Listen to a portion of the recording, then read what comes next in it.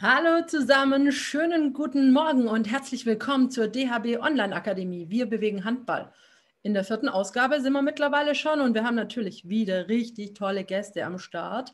Und heute kann ich euch versprechen, zum Tag des Ehrenamts geht es in der ersten Stunde um Handballmitgestaltung, Möglichkeiten von und für junge Engagierte mit dabei. Ich nehme es schon mal vorweg, sind sehr junge Gäste. Die haben aber auch schon unglaublich viel Praxiserfahrung. Ja, ich habe heute Morgen schon auch gehört, ja, Anja, du machst unseren Altersschnitt kaputt. Ja, tue ich, denn ich bin 38 Jahre alt, also knapp zehn Jahre älter als die Älteste in der Runde. Genau. In der zweiten Stunde wollen wir sprechen über den Erfolgsfaktor Trainer und die Ausbildung dazu. Und auch hier sind wir wirklich hochkarätig besetzt. Ihr habt es vielleicht schon gesehen. Mit dabei Star-Torwart Matthias Andersson, der unter anderem auch darüber aufklärt, ob ein super Spieler gleichzeitig auch ein super Trainer wird. Also wie gesagt, ich bin Anja Rüssler, darf euch heute wieder durch den Vormittag begleiten. Und wer sich jetzt fragt, was habe ich hier eigentlich an? Also erstens, nein, meine Nationalmannschaftskarriere ist schon durch. Ich bin jetzt wirklich Edelfan. Ja, und das ist das aktuelle Nationalmannschaftstrikot, und zwar das von Julia Binke. Genau. Und ich bin ja wirklich schon voll im EM-Fieber. Ich weiß nicht, wie es euch geht. Habt ihr schon reingeschaut am Donnerstag gegen Rumänien? Und heute Abend, da kommt ja der richtige Kracher mit Norwegen. Was tippt ihr denn heute 18.15 Uhr live auf sportdeutschland.tv? Schreibt doch euren Spieltipp einfach hier unten in die Kommentare. Genauso wie eure Fragen und eure Anregungen. Dann könnt ihr nämlich fleißig mitdiskutieren. Ich freue mich auf euch. Und ja, ich würde sagen, lasst uns loslegen. Wir sprechen jetzt über das hier in der kommenden Stunde, Handball mit Gestaltung. Möglichkeiten von und für junge Engagierte.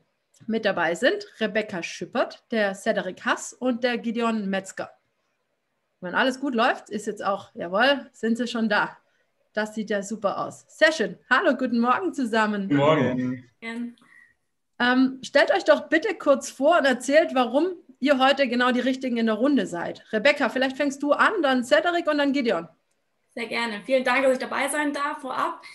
Ähm, mich hat Sport von, von klein auf begleitet. Ich war schon immer im Verein dabei, ähm, zuerst im Volleyballbereich, dann leider wegen Schulterverletzung ähm, konnte ich das nicht mehr weitermachen.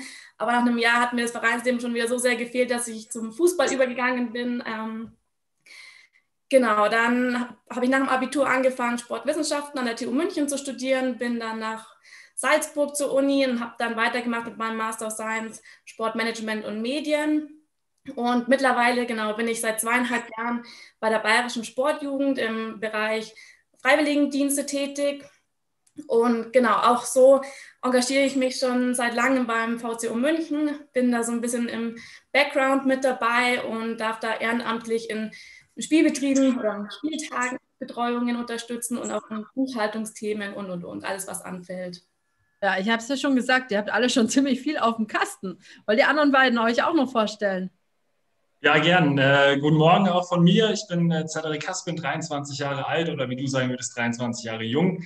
Ähm, ich bin äh, aktuell, ich arbeite bei den Füchsen Berlin-Reinigendorf als Sportdirektor und äh, komme aber eigentlich direkt aus dem Handballbereich. Also ich bin hier für den Gesamtverein zuständig, also für etwa 20 Sportarten, komme aber eigentlich direkt aus dem Handball, aus der kleinen Aufspiel seit ich lange bei der SG Hamster bei uns Lust aktiv Handball ähm, und bin dann über einen Freiwilligendienst beim Handballverband Berlin gelandet, habe den parallel gemacht ähm, oder zur, zur Hälfte geteilt beim Handballverband und bei mir im, im Verein.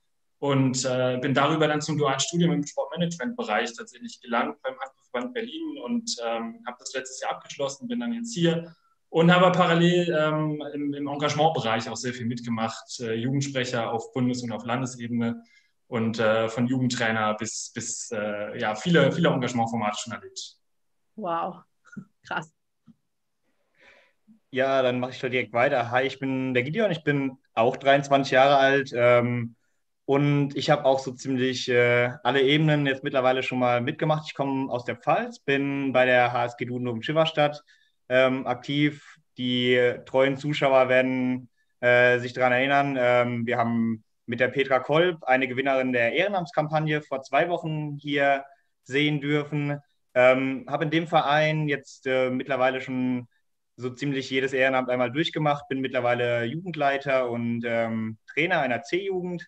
Ähm, seit fünf Jahren bin ich auch im Pfälzer Handballverband äh, als Jugendsprecher aktiv und jetzt seit letztem Jahr äh, der, einer der Nachfolger von Cedric als DHB-Jugendsprecher. Habe auch ein FSJ gemacht in meinem Handballverein, äh, war danach noch ein Jahr als Au pair in Amerika und äh, bin jetzt mittlerweile aktiv als Jugendsprecher. Okay, also in eurem Handball, äh, in eurem Alter habe ich ziemlich viel Handball gespielt, zum Hobby so ein bisschen studiert. sehr beeindruckend, was ihr da alles schon gemacht habt. Genau. Ähm, Gideon, jetzt nimm uns mal ganz kurz mit. Du bist ja der aktuelle DHB-Jugendsprecher, hast du gerade gesagt. Was sind denn so da deine Aufgaben und wie wird man das überhaupt? Ja, genau. Also ähm, ich sehe uns immer so ein bisschen als Interessensvertretung der Jugend. Also wir ähm, stehen als DHB-Jugendsprecher im Dachverband, ähm, haben wir vor allem die Verantwortung für unsere Landesverbandsjugendsprecher. Ähm, das, ist, das ist ganz interessant. Wir haben in allen Landesverbänden haben wir äh, die Möglichkeit, Jugendsprecher zu werden und ähm, sind hier dann mehr oder weniger für die Koordination zuständig. Wir bieten Projekte an, wir ähm, bieten Aus- und Fortbildungsmaßnahmen für die äh, Jugendsprecher an und ähm, stehen da auch in engem Kontakt mit ähm, dem Bereich Mitglieder im DHB, äh, insbesondere mit Tim Nimmesgern und äh, Frederik Wöhler, die ähm, uns dabei ganz vielen Projekten unterstützen. Du wirst als DHB-Jugendsprecher, wirst du normalerweise kommst du da über den Landesverband rein. Also alle zwei Jahre gibt es einen Bundesjugendtag. Ähm, und an diesem Bundesjugendtag äh, kann man sich eben aufstellen lassen und äh, wird dann mit etwas äh, Glück gewählt. Ja, als einer von vier. Das klingt gut. Cedric, du als alter Hase in diesem Job, äh, kannst du da irgendwie noch was dazu sagen? War, haben sich die Aufgaben mittlerweile ein bisschen geändert oder wie, wie siehst du das? Nein, ich, äh, ich, ich sehe das wie Gideon. Ich meine, das ist, äh, ist immer noch die gleiche Stelle, jetzt auch ein Jahr später noch. Ähm, auch wenn sich sonst viel verändert hat auf der Welt, glaube ich, äh, ist das Jugendsprecheramt noch relativ gleich geblieben. Auch wenn es natürlich auch da strukturelle Veränderungen gibt, auch in den Möglichkeiten, äh, wie man das jetzt ausübt. Aber ich glaube, das ist schon an sich äh, relativ, relativ noch das gleiche Thema. Ähm, ich ich habe das für mich immer interpretiert. Ich finde den Begriff Engagementbotschafter immer noch ganz gut äh, als, als Jugendsprecher, weil man äh, eben einerseits die Interessenvertretung dann ist für die Jugend in verschiedenen Gremien, Kommissionen und, und Organisationen. Und auf der anderen Seite ist man aber eben derjenige, der versucht, noch mehr das Engagement nach draußen zu tragen. Also ähnlich wie wir das heute hier machen und versuchen, junge Leute zu einem Engagement zu bewegen, ist das auch so, dass, dass äh, der tägliche Alltag eben von Jugendsprechern nach außen hin zu transportieren, die Botschaft, dass Engagement wirklich Spaß machen kann und dass das auch wirklich sinnvoll ist. Ähm, Gideon hat es ja vor, vorher angesprochen. Vor zwei Wochen hatten wir schon mal das Engagement-Thema, haben da so allgemein drüber gesprochen, haben auch drüber geredet, dass es eigentlich ganz viele verschiedene Bereiche gibt. Warum denkst du, ist für junge Erwachsene, sage ich mal, oder Jugendliche mhm. wichtig oder was ist der Unterschied da im Engagement? Ich glaube, äh, junge Leute haben, äh, oder allgemein ist das Engagement extrem wichtig. Äh, das, das haben, haben, wir vor zwei Wochen schon mal festgestellt. Ich glaube, das ist auch so relativ bekannt.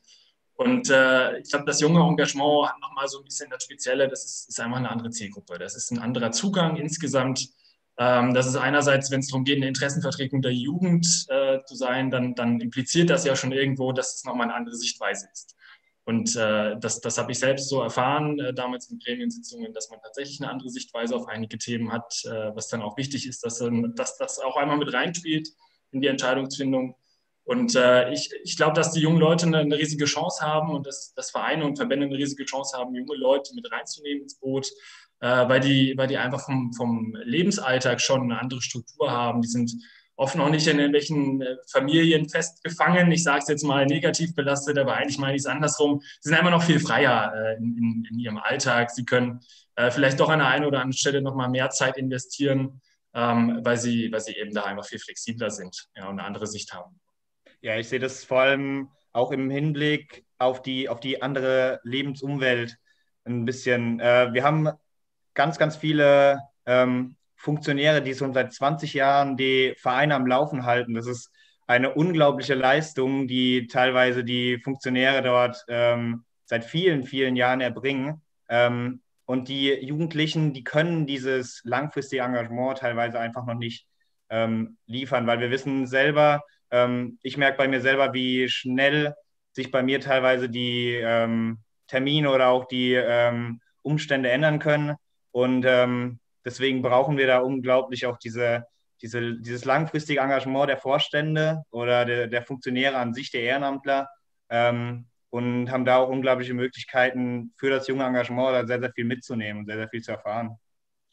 Jetzt haben wir hier auch eine junge Dame in der Runde, die Rebecca. Sie hat ja schon gesagt, sie ist eigentlich gar keine Handballerin, weiß aber ganz genau, worauf es im Verein ankommt und warum das so schön ist, im Verein zu sein. Ähm, kennt sich vor allem auch im Engagement und im Freiwilligendienst im Sport aus. Erzähl doch mal, was hat es damit auf sich? Genau, der Freiwilligendienst ist ein Bildungs- und Orientierungsjahr. Dabei dürfen die jungen Menschen oder im Bundesfreiwilligendienst auch gerne ältere Menschen ähm, einen super Einblick in den Bereich Sport, Sportpraxis, Sportmanagement und auch Sportpädagogik bekommen. Ähm, die Freiwilligen werden eingesetzt in der Einsatzstelle. Meistens sind es die Vereine, könnten aber auch Verbände und Schulen direkt sein. Ähm, sie sind dann 38,5 Stunden pro Woche eingesetzt und dürfen da sowohl in den Geschäftsstellen einen super Einblick bekommen, als auch direkt mit im Kontakt mit den Kindern und Jugendlichen ähm, im Handballtraining. Genau. Und ähm, du hast ja vorher gesagt, du, du, du steckst da eigentlich beruflich mittendrin. Wie, wie kommt man denn zu so einem Freiwilligendienst? Ähm, ich kenne das, wir haben es im Eingangsgespräch gesagt, ich habe das als FSJ gekannt, da ist es wahrscheinlich umgangssprachlich auch sehr bekannt. Ähm, wie kommt man dazu? Genau, also ich persönlich leider habe nach dem Abitur davon gar nichts mitbekommen, dass es das überhaupt gibt. Und ich bekomme auch immer wieder die Rückmeldung, ah, es gibt auch einen Freiwilligendienst, ähm, Freiwilligendienst im Sport. Ähm, das, da sind ganz viele immer sehr überrascht, dass es das überhaupt gibt. Ähm, grundsätzlich ähm, informiert man sich da am besten über die Sportjugenden. Meistens sind es die Träger, die in den Landesverbänden ähm, integriert sind. Genau. Du hast gerade gesagt, du hast es selber gar nicht gemacht, aber mm, was meinst du, hätte es verändert, hättest du das gemacht? Also jetzt im Nachhinein sage ich definitiv, es ist super schade, dass ich diese Chancen nicht hatte oder nicht nutzen konnte, weil ich davon nicht wusste. Ähm, ich sehe einfach, wie die Freiwilligen ähm, im Einführungsseminar und dann sich hin zum Abschlussseminar entwickelt haben. Das ist wirklich jedes Jahr unfassbar ähm, und das macht einen dann als Bildungsreferent auch irgendwie ja, es ist eine schöne Erfahrung, das so miterleben zu dürfen. Und ich glaube auch ich persönlich gleich hätte vielleicht keinen anderen Weg gewählt, aber ich wäre einfach ganz anders in dieses Studium angetreten, also mit einer ganz anderen Persönlichkeit, Intention und vor allem Motivation. Ja, Cedric, du hast ja das gemacht, hast du vorher gesagt. Ähm, was war, wie war so dein FSJ, wenn du das mal beschreibst? Äh, oder ja, gern, gern. Ich würde ich würde einmal noch mal in der Frage vorher noch mal einsteigen, warum man sowas macht. Äh, also für mich, für mich war das damals so ein bisschen die Intention, ich, ich will einfach mal ein Jahr genau nur das machen, worauf ich jetzt richtig Lust habe nach der Schule. Also ich habe in der Schule irgendwie ganz viele Fächer und die Lehrer erzählen mir, was ich da zu tun habe, aber jetzt will ich mal ein Jahr nur Handball machen. Ähm, und genau das habe ich dann auch gemacht.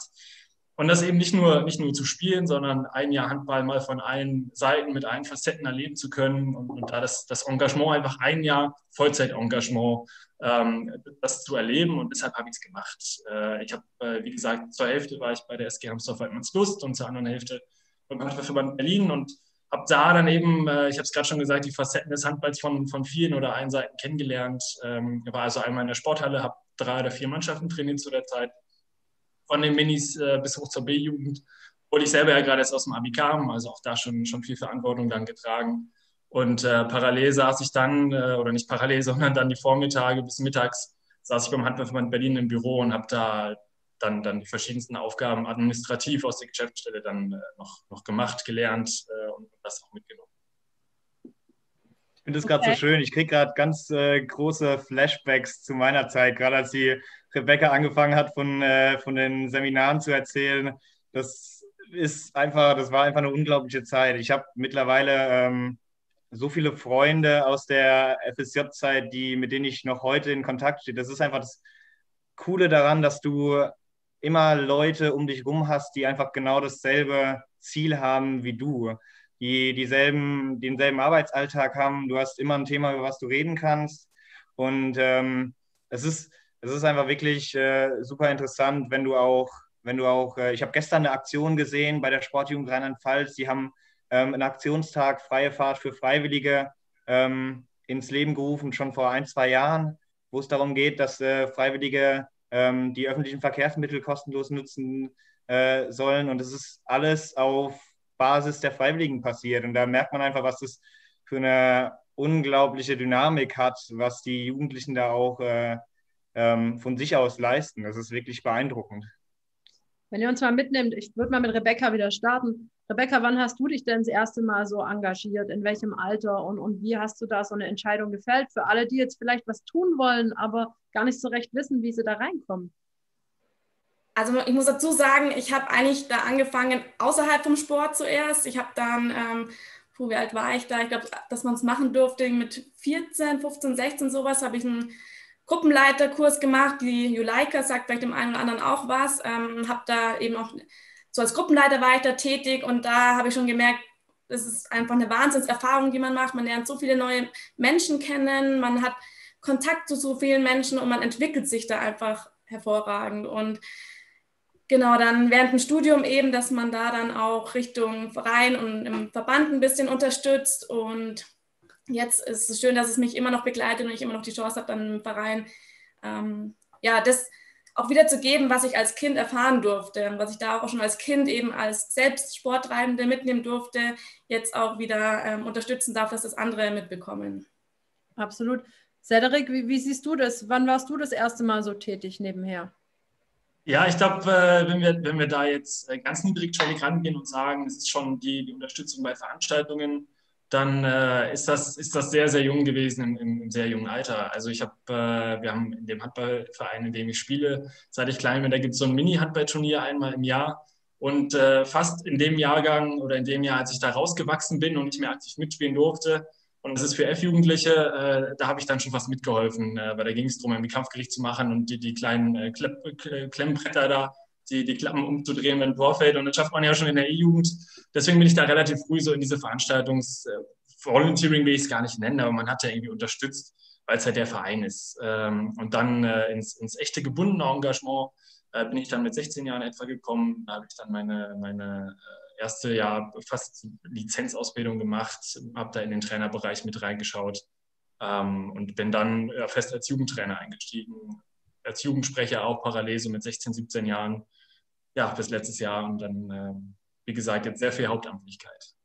Das würde ich auch gerne mal mit aufgreifen mit der Trainermöglichkeit. Das ist ja für die Freiwilligen auch immer eine Riesenchance, dass sie in dem Jahr eine Trainerlizenz ähm, machen können und davon ja dann auch später noch profitieren werden im Rahmen von weiteren Trainertätigkeiten neben dem Studium oder auch Beruf. Ja. Ähm, Gideon, wie war das bei dir?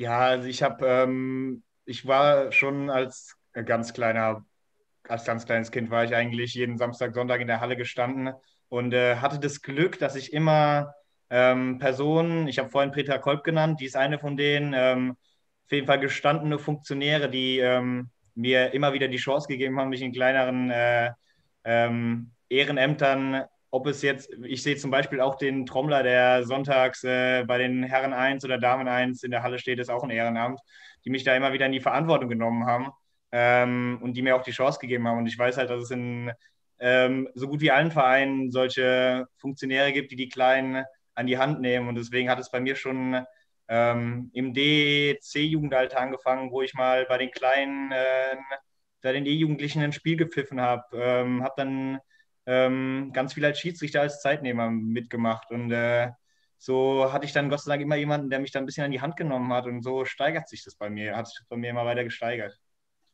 Absolut. Rebecca, du hast es gerade angesprochen, man hat verschiedene Möglichkeiten, wie man sich selber auch weiterbilden kann. Was, äh, also innerhalb dieses Freiwilligendienstes, was man da für Benefits, will ich mal sagen, hat. Ähm, was würdest du sagen, ist so persönlichkeitsbildend? Kann man da auch irgendwie was machen? Ich meine, für einen Lebenslauf macht sich das ja eigentlich auch ganz gut, oder? Mittlerweile. Definitiv. Also das hört man auch von den Arbeitgebern, dass man da wirklich ähm, einen sehr, sehr guten Eindruck. Die viele Arbeitgeber schauen ja auch gar nicht mehr auf das Abiturzeugnis oder auf irgendwelche Noten, sondern genau auf solches Engagement, dass man einen Freiwilligendienst oder auch ehrenamtlich tätig ist. Und ähm, ja, ich finde es auch immer wieder schön, dass ich selbst die Erfahrung auch mache, dass meine Freiwilligen auf mich zukommen und sagen, hey, sie hätten super Interesse, auch bei mir als Co-Referenten tätig zu sein. Und jetzt habe ich wieder eine Anfrage bekommen, ob, ob mein ehemaliger Freiwilliger von vor zwei Jahren nicht bei mir ein Praktikum machen kann, um auch in meine Arbeit reinzuschauen. Und auch mein Co-Referent, der ist ähm, was selber Freiwilligendienstleistender. Und ja, das ist dann schön, dass doch irgendwie immer so die Züge dann zurückkommen, dass es so ein gemeinsames Weitermachen ist. Ich sag mal, im, im, als ich quasi äh, so war, dass ich hätte sowas machen können, war ich natürlich sehr mit Handball beschäftigt. Ich hatte acht bis zehn Einheiten die Woche. Aber damals war es noch ein bisschen verpönt. Also da hieß es so, ha, die weiß nicht so recht, was sie tun soll, wenn da so nach dem Abi so eine Lücke ist. Hm, sah nicht ganz so gut aus, aber das ist jetzt ganz anders, oder? Du hast es ja. gerade schon ein bisschen angedeutet. Ja, ich möchte da nochmal ganz kurz drauf eingehen, weil es mir gerade einfällt. Ähm, gerade im ähm, Leistungssport gibt es auch mittlerweile die Möglichkeit, ein BFD im Spitzensport zu machen. Das heißt, dass man das, den Freiwilligendienst Teilzeit macht und auch seine Trainingszeit als Zeit sozusagen anerkannt bekommt, ähm, was auch eine super Chance ist, was sich dann auch in den letzten Jahren ähm, super weiterentwickelt hat, um gerade ähm, ja auch die, die Leistungssportler mit einzubeziehen, weil es dann oft schon schwierig ist, diese 38,5 Stunden eben in diese Trainingszeiten noch mit einzufügen. Okay. Du was anderes von mir hören, glaube ich, oder? Nee, alles gut. Nee, das passt. Wie seht ihr zwei das? Ja.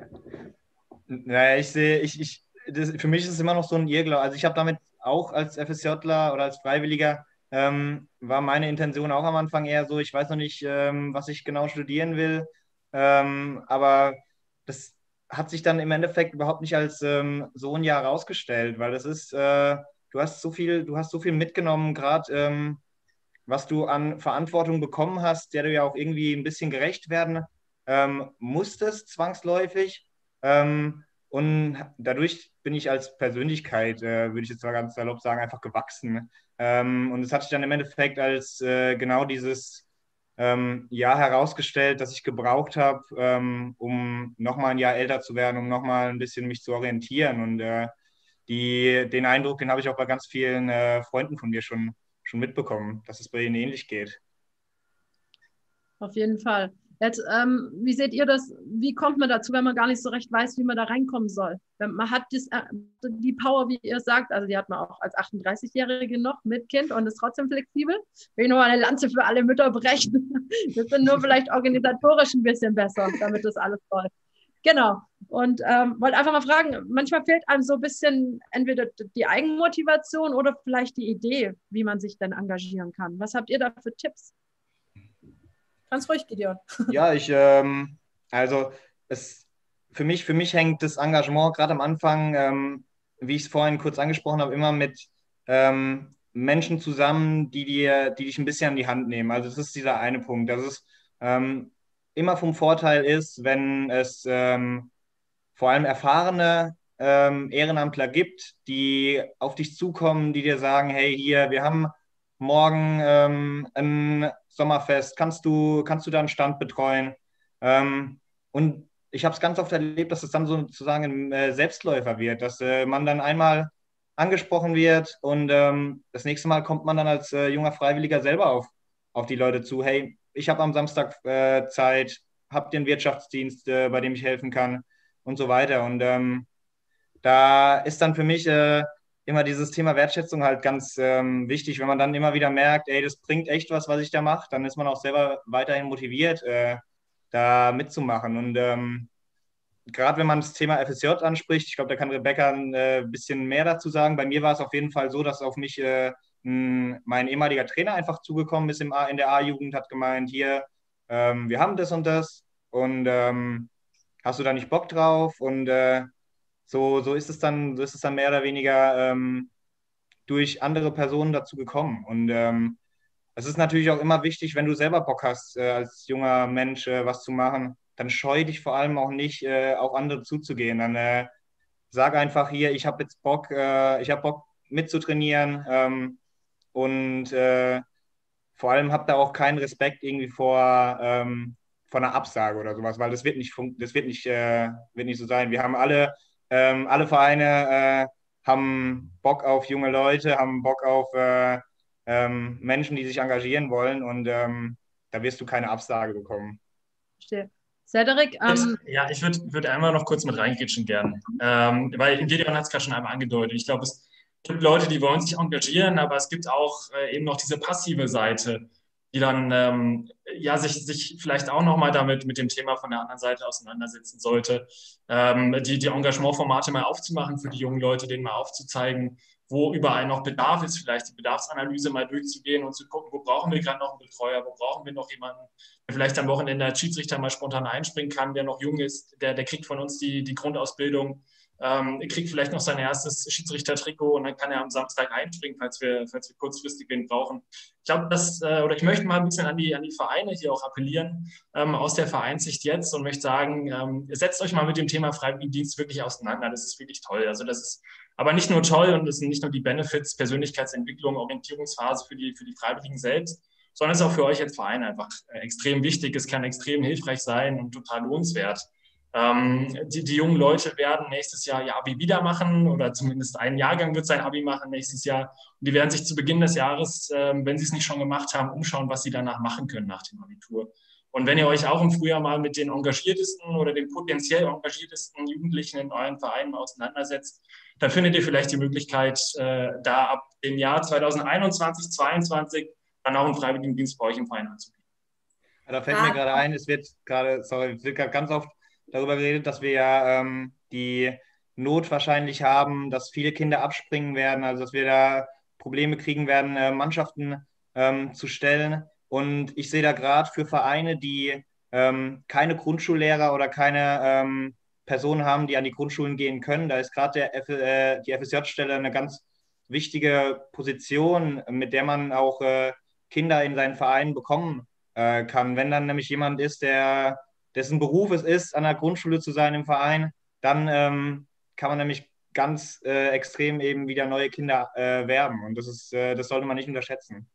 Das kann ich auch nur unterstreichen und kann auch ergänzen. Gerade, wir hatten vorhin auch schon mal das Thema Bezugspersonen, glaube ich, dass da gerade die Freiwilligen, die auch noch sehr jung sind, eine ganz andere Bezugsperson auch zu den Schülern oder zu den jüngeren Kindern noch haben und dadurch die schauen dann, boah, das ist mal ein Riesenvorbild, ich will auch in diese Sportart, in Handball ähm, anfangen und da mal reinschnuppern.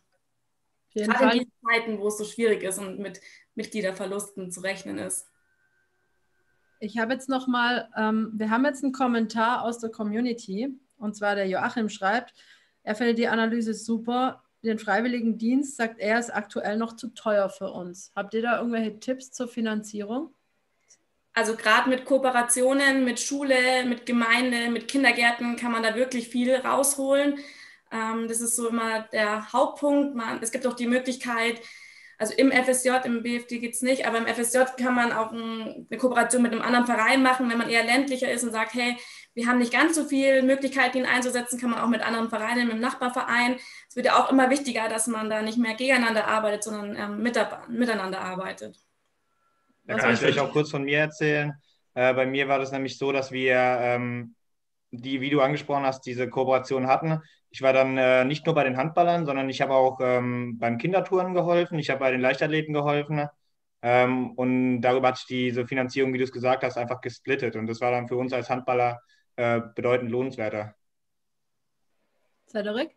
Danke, ja. Ähm, es, es, äh, mit, mit allem, was ihr gerade schon gesagt habt, absolut. Äh, ich, ich, kann nur aus meinem Beispiel damals sagen, äh, ich habe äh, drei bis vier Jugendmannschaften trainiert, hatte zu dem Zeitpunkt sogar schon die, die C-Lizenz. Und als Lizenztrainer, als Trainer kostet ja auch was äh, für den Verein. Das heißt, das Geld ist schon mal das, was man an, an, an erster Stelle einsparen würde. Dann die Refinanzierung ähm, von, einem, von einem Freiwilligen durch Schul-AGs in Kooperation über die Sportjugend, über den Landessportbund. Ähm, wenn er Schiedsrichter ist und dann am Wochenende nochmal irgendwie zwei Spiele pfeifen kann, äh, dann vielleicht äh, man das Vertrag regelt, ähm, man sich darum kümmert, ob das möglich ist, dass er dann zwei, drei Spiele mal pfeift, äh, ohne dann dafür das Geld zu kriegen, würde sich das auch schon wieder ein Stück weit refinanzieren. Äh, ich glaube, wenn man sich die Möglichkeiten anguckt und die Einsatzfelder und dann mal überlegt, wo man da vielleicht Gelder einsparen könnte, das ist, glaube ich, eine, eine sogar auch wirtschaftlich extrem lohnenswerte Möglichkeit. Ich möchte nur noch mal kurz ergänzen, ähm, weil ja der Freiwilligendienst auch der Gideon hat vorhin richtig gesagt, ähm, die jungen Leute brauchen im ersten Schritt eben diese Unterstützung, dass sie da unterstützend tätig sind. Aber auch da ähm, haben, hat man ja so eine Art Betreuungsschlüssel oder gerade auch im Handballtraining, dass man sagt, man hat einen Co-Trainer zusätzlich da, man kann da wirklich nochmal intensiver auf die einzelnen Personen eingehen, man kann die Gruppen teilen mit diesem Co-Trainer und hat da sehr, sehr viele Möglichkeiten noch zusätzlich. Jetzt haben wir ja wirklich sehr ja, nervenaufreibende Zeiten, wo jeder von uns im Alltag auch mit vielen Herausforderungen kon konfrontiert wird. Ähm, aktuelle Lage, Corona-Pandemie. Wo seht ihr, seht ihr das als Chance oder als Bedrohung für so einen Freiwilligendienst?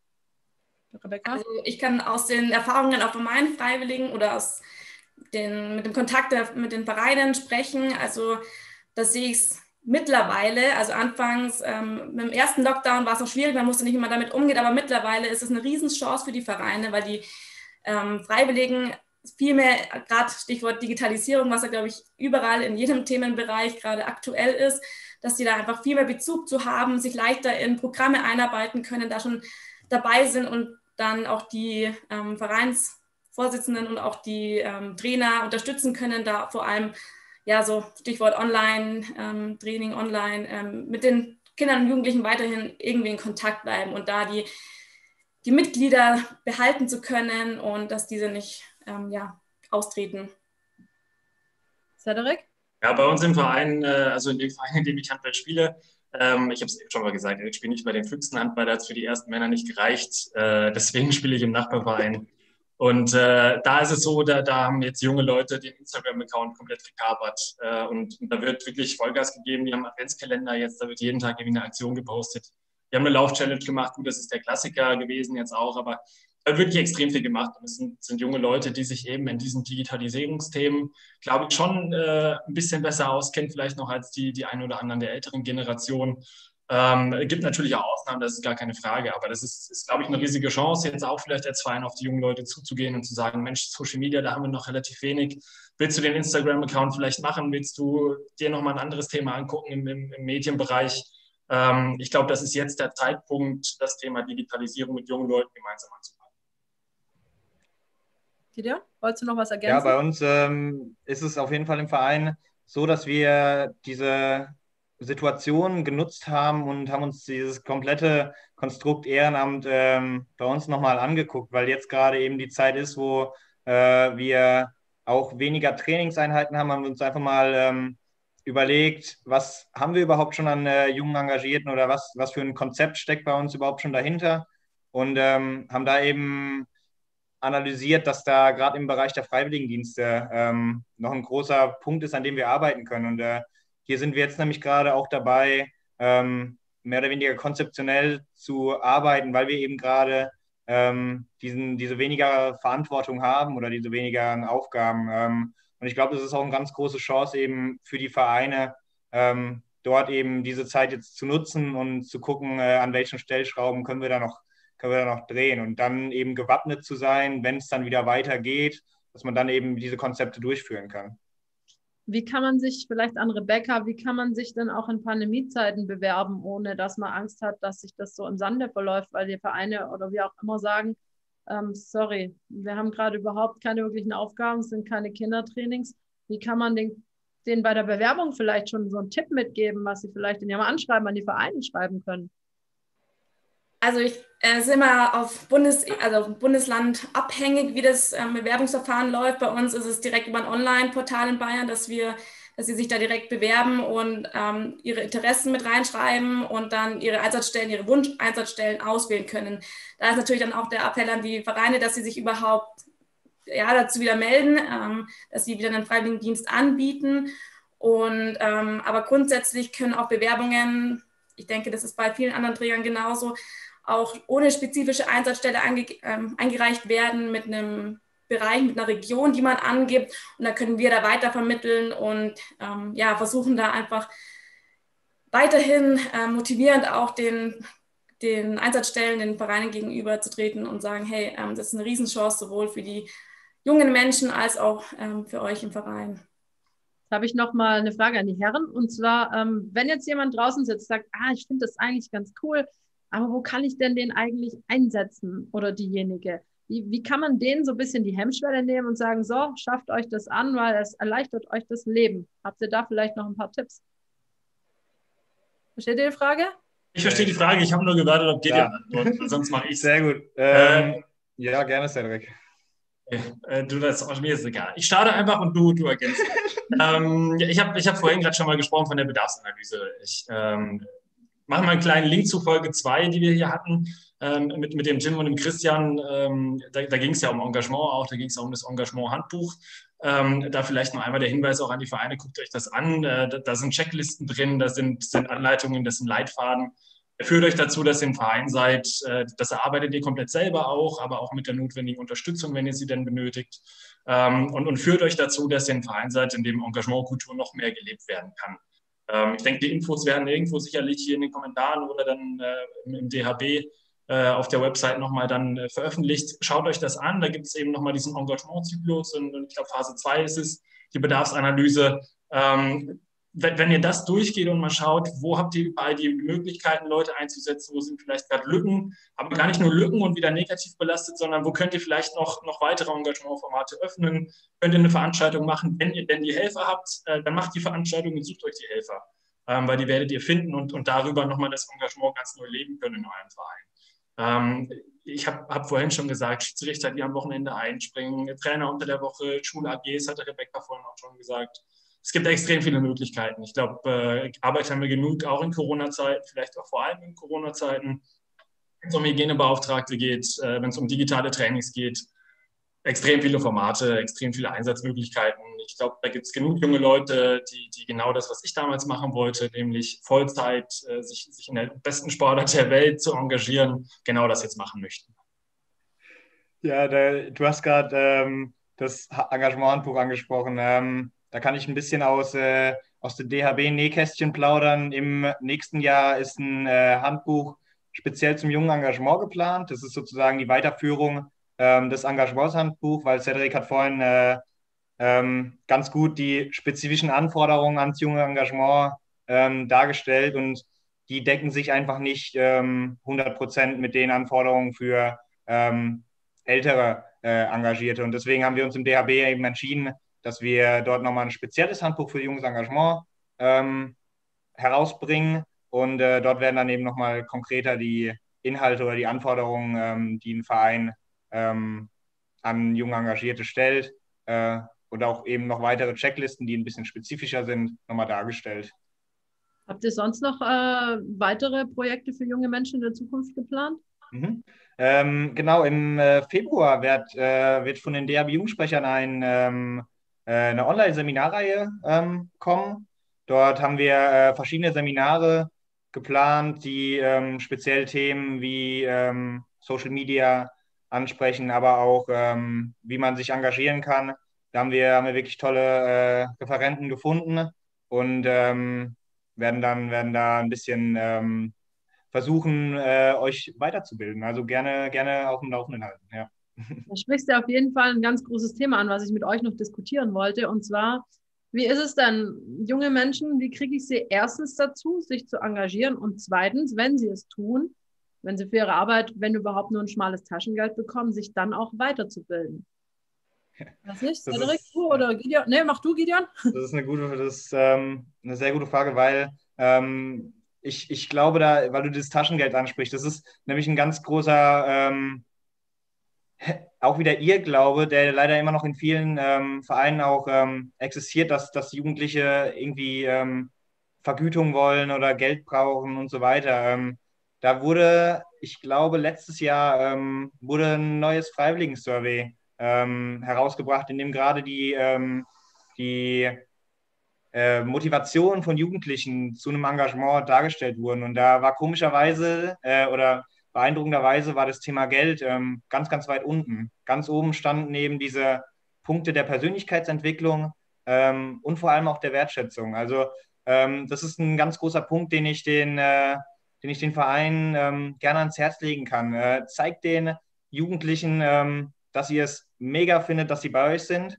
Ähm, am Beispiel DHB kann ich einfach sagen, dass es mittlerweile Standard ist, äh, bei Turnieren wie dem Deutschland Cup, ähm, oder auch Deutsche Meisterschaft Beachhandball, dass bei der Siegerehrung ähm, es einen eigenen Programmpunkt gibt, wo alle ähm, Ehrenamtler ähm, aufs Feld gerufen werden und eine eigene Ehrung bekommen. Das ist so viel wert. Das ist, äh, das, sowas, bleib, sowas bleibt mir jedes Mal im Kopf. Und ähm, es ist vor allem auch einfach wichtig, die, mit den Leuten in Kontakt zu bleiben. Äh, wenn, ich, wenn ich bei mir im Verein gucke, ähm, wir machen jeden Montag, äh, versuchen wir online ähm, mit, äh, mit Freiwilligen und auch mit, mit Spielern ähm, einfach irgendwie Online-Spiele zu machen. Also es gibt ja genug, da kennen sich leider meine C-Jugendlichen besser aus als ich. Ähm, und wir versuchen dann darüber ganz weg vom Sportlichen einfach in Kontakt zu bleiben. Und äh, dieses Thema Wertschätzung wird da einfach nochmal gelebt, genau. Cedric, magst du ergänzen?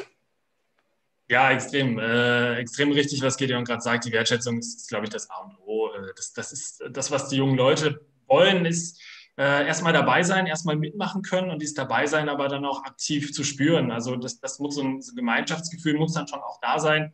Ähm, wenn ich das Beispiel Deutsche Meisterschaft Beachhandball einmal mit aufgreifen kann, ähm, wo, wo alle Ehrenamtlichen äh, was Gideon gerade gesagt hat, nochmal nach dem, äh, nach dem Finale, bevor die Mannschaften ihre Ehrungen bekommen, äh, dann aufs, auf den Sand nochmal rauf dürfen, ähm, wo sie übers Wochenende die Linie neu gemacht haben, immer wieder gerichtet haben, wo sie gehakt haben, also wirklich Arbeiten gemacht haben, wo man dann äh, nach dem Wochenende auch weiß, was man getan hat.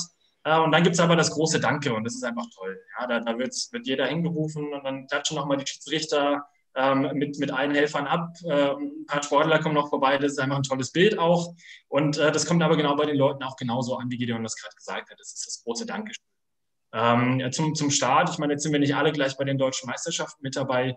Äh, zum Start im Verein ist es, ist es wirklich dieses normale, ehrliche Danke, ähm, weil das sind, glaube ich, diese, diese ideellen Wertschätzungen, äh, die die Ehrenamtlichen da erstmal haben möchten und auch die, die Einsteiger.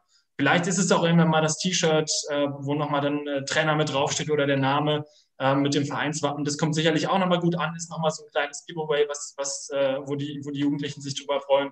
Ähm, aber das muss nicht sein. Also ähm, ich habe das selber auch nicht erfahren, damals gleich äh, irgendwie das Begrüßungspaket auf dem Tisch gehabt, sondern erstmal hat man, hat man das gemacht, wenn man es gern getan hat. Und das ist, äh, ja, sonst wären wir auch heute nicht hier. Absolut. Ja, ich kann die Wertschätzung nur nochmal unterstreichen und ich bekomme auch immer mit bei den Freiwilligen, die sind total glücklich, wenn sie da mitreden können, wenn sie ihre Ideen mit einbringen dürfen und da ähm, wirklich überall mitgenommen werden und einen besonderen Einblick bekommen. Ähm, das kann ich speziell auch bei den Freiwilligen, merke ich das und ich glaube, das ist bei den ganzen anderen jungen Menschen genauso, ähm, dass man sie da einfach mit den neuen Ideen mit am Ball hält.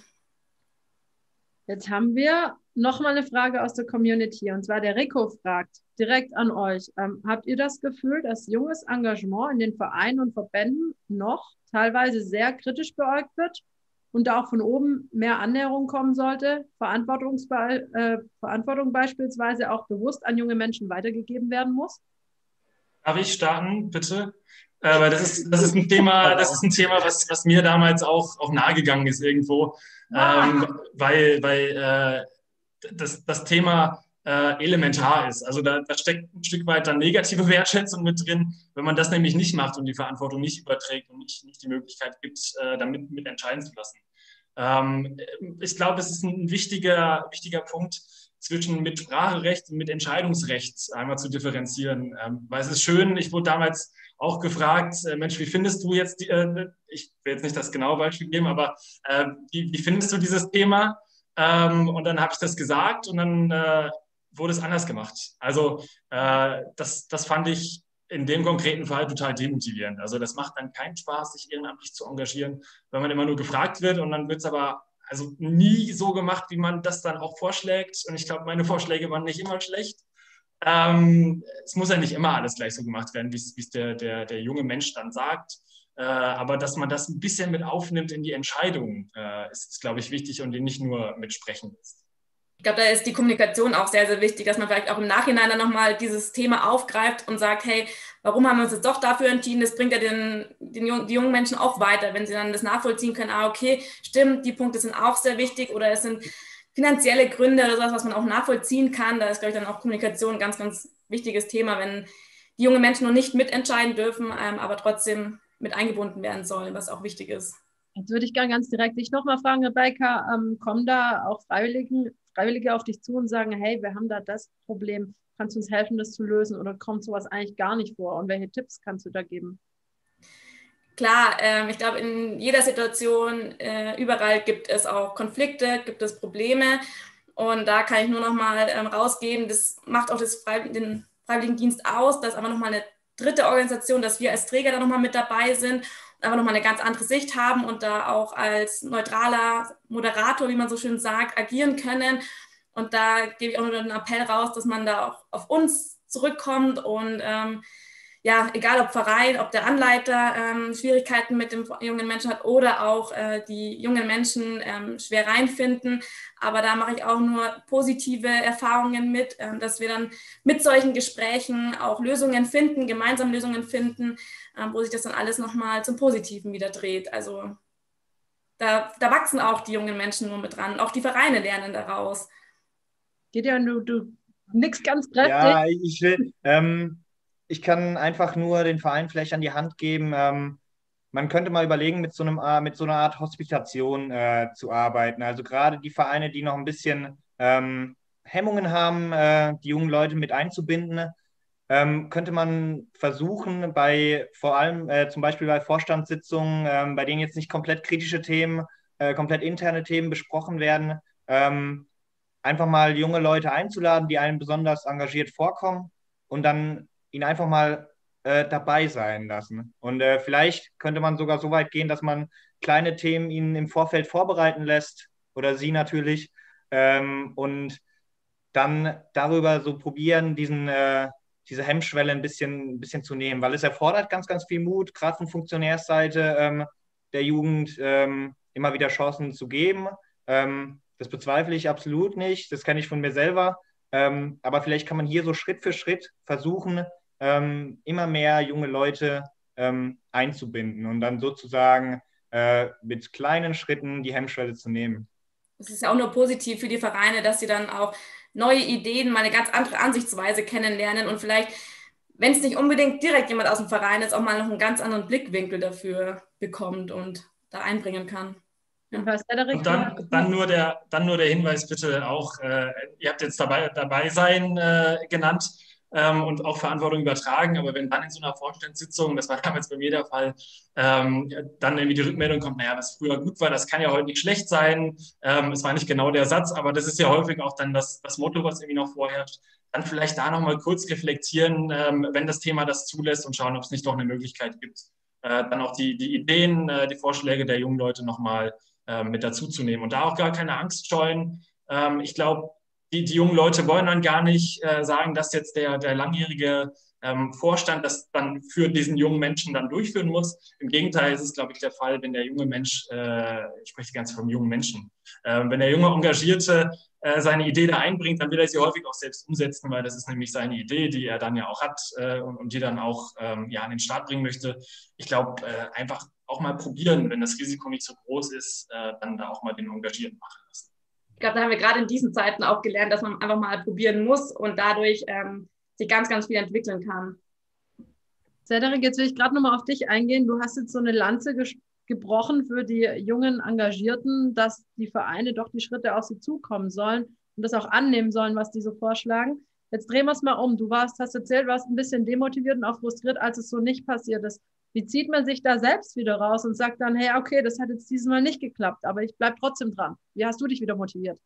Ja, ich glaube, äh, bei mir war das ein bisschen der Vorteil, dass ich einfach in so vielen Bereichen engagiert war, dass es jetzt nicht dann das eine Engagementthema war, was man dann äh, komplett ähm, vergraben hat, sondern man hat dann einfach in den anderen Bereichen ein bisschen mehr gemacht und hat gesagt, gut, jetzt war es gerade äh, im Verein nicht so gut, wie ich es mir gewünscht habe, dann mache ich jetzt auf Verbandsebene ein bisschen mehr.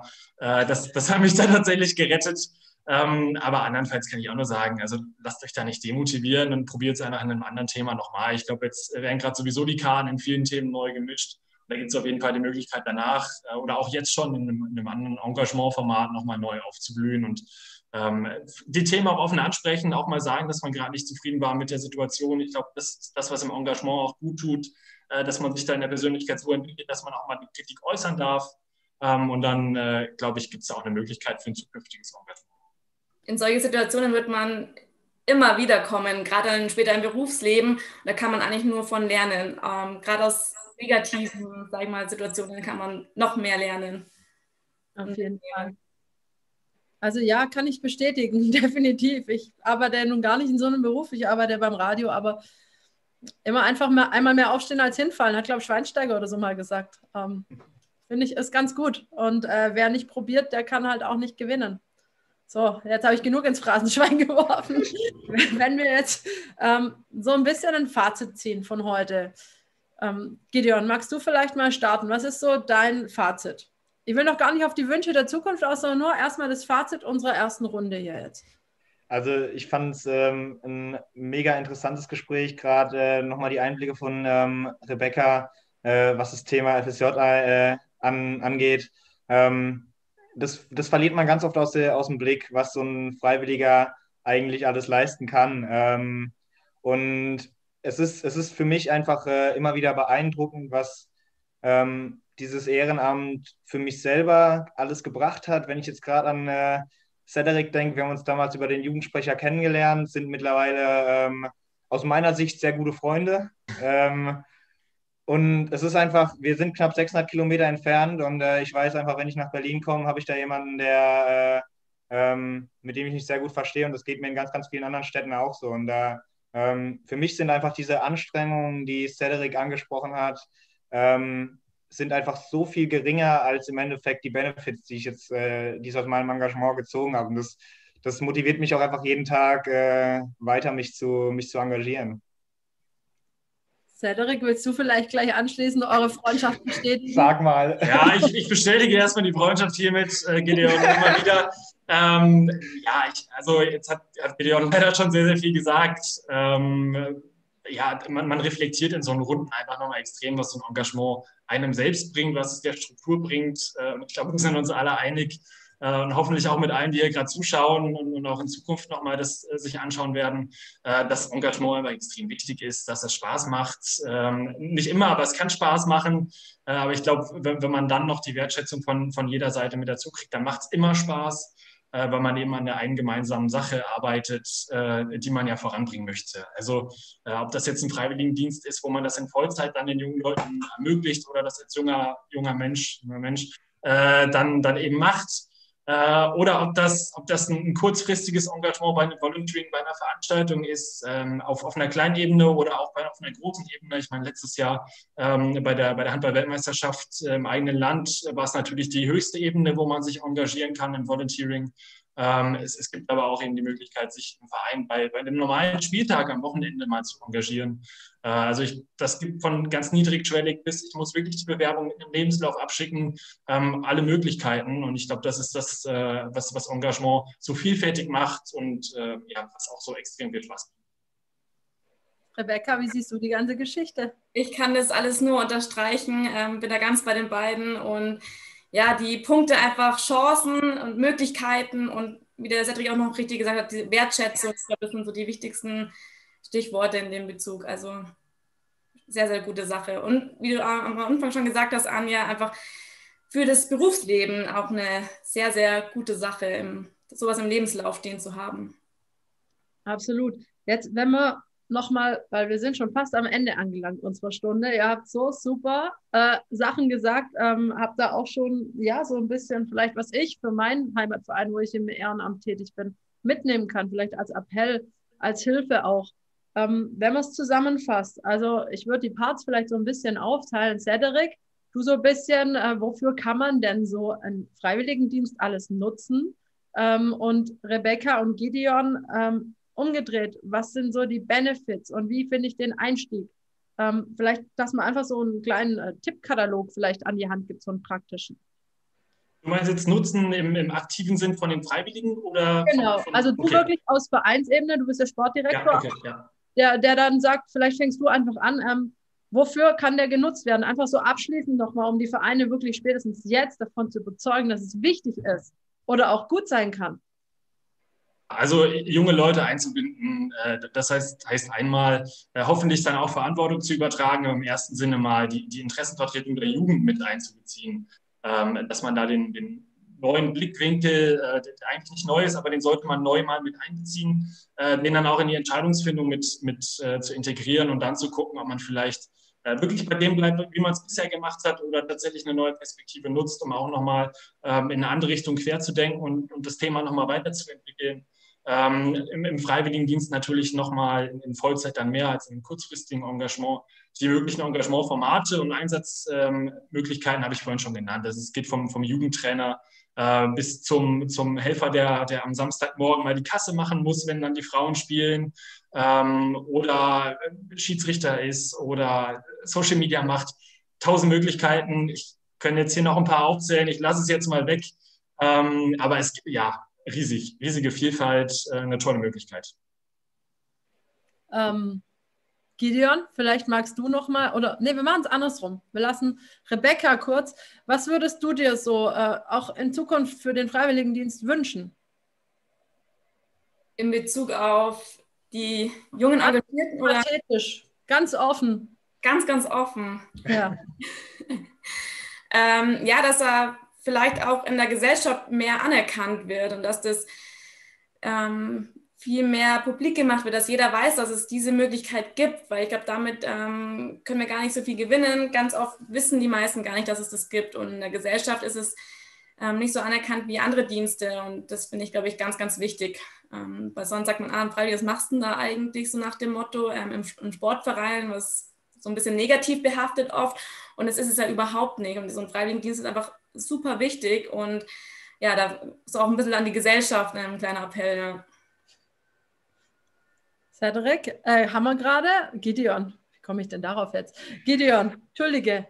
Ja, ähm, ich kann es wirklich nur unterstreichen. Also Leute, wenn ihr Bock habt, euch zu engagieren, dann traut euch das. Eure Meinung ist gut, eure, äh, ihr habt gute Ideen, ähm, haut die einfach raus. Ich kann auch nur noch mal, ich kann auch nur kurz, äh, ähm, wenn ich einen Werbeblock einschieben darf, wenn ihr Unterstützung ja. braucht, wenn ihr Unterstützung braucht ähm, oder Ideen, wir haben eine, wir haben eine E-Mail-Adresse, jugendsprecher.dhb.de, wir hauen das mal in die Kommentare. Ähm, schreibt uns oder folgt uns auf Facebook, Junges Engagement, Deutscher Handballbund. Da sind immer wieder gute Ideen, die wir auch teilen. Ähm, wenn ihr Unterstützung braucht, traut euch, lasst euch nicht unterkriegen und vor allem auch an die, äh, an die Funktionäre, vertraut den jungen Leuten. Die haben geile Ideen und äh, ihr werdet davon nur selber profitieren. Ich muss euch jetzt mal ganz kräftig loben. Jetzt nicht ich persönlich, aber es wird wirklich in der Community der Wolfgang vom TV Bammental Handball, der sagt, auch diese Woche wieder tolles Konzept, tolle Gäste, da kann man super viel mitnehmen.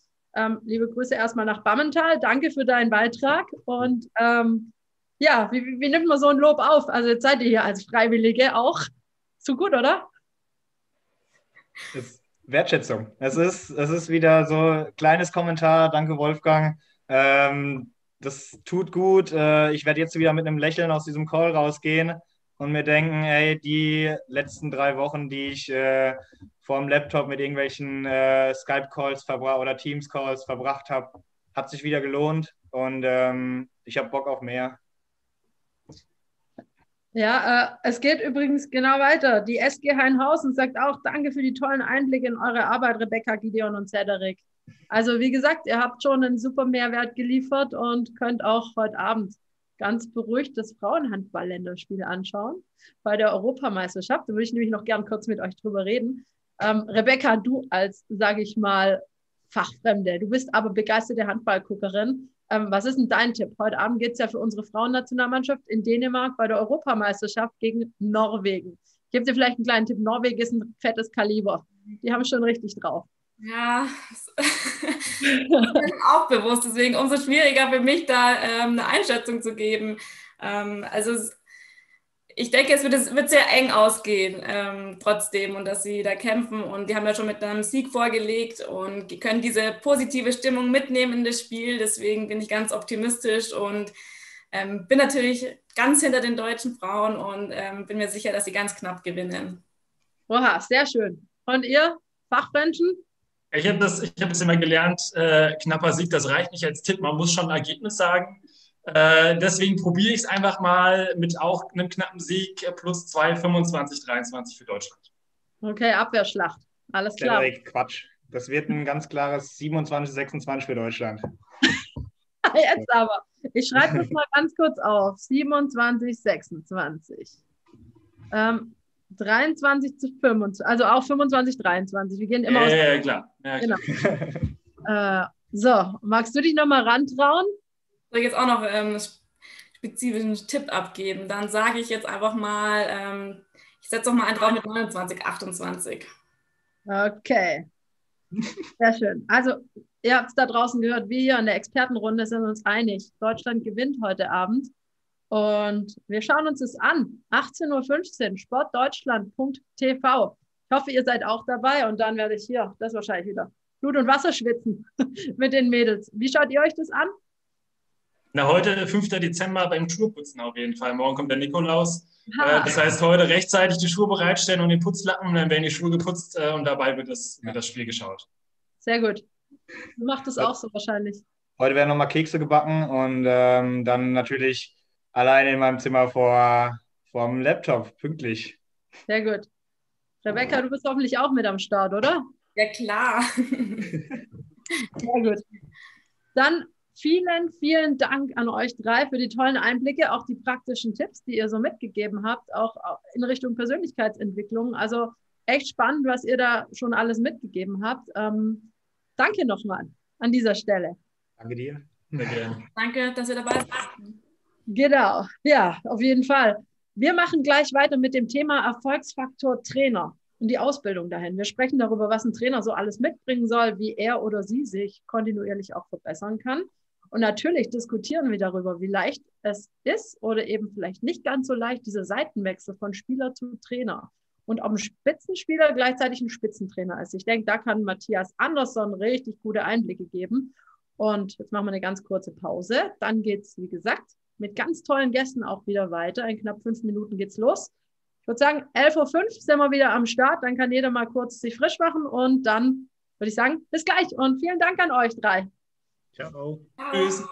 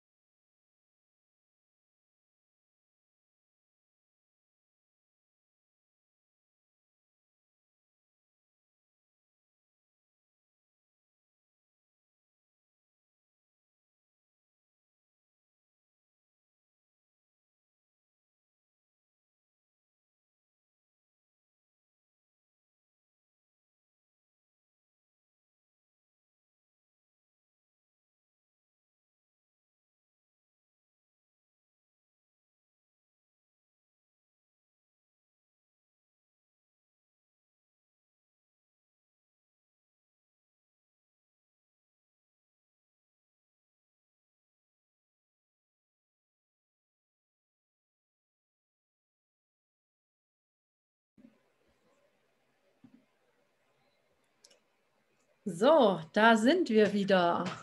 Ich hoffe, ihr seid auch alle zurück. Willkommen nochmal zur DHB Online Akademie. Wir bewegen Handball. Schön, dass ihr noch da seid. Ich bin Anja Rösler und wir haben ja in der letzten Stunde wirklich heftig darüber diskutiert und darüber gesprochen, wie junge Erwachsene sich engagieren können und wie sie dabei optimalerweise auch unterstützt werden seitens des Vereins. Jetzt geht der Blick ganz stramm in Richtung Leistungssport. Wir sprechen über den Erfolgsfaktor Trainer und die Ausbildung dazu.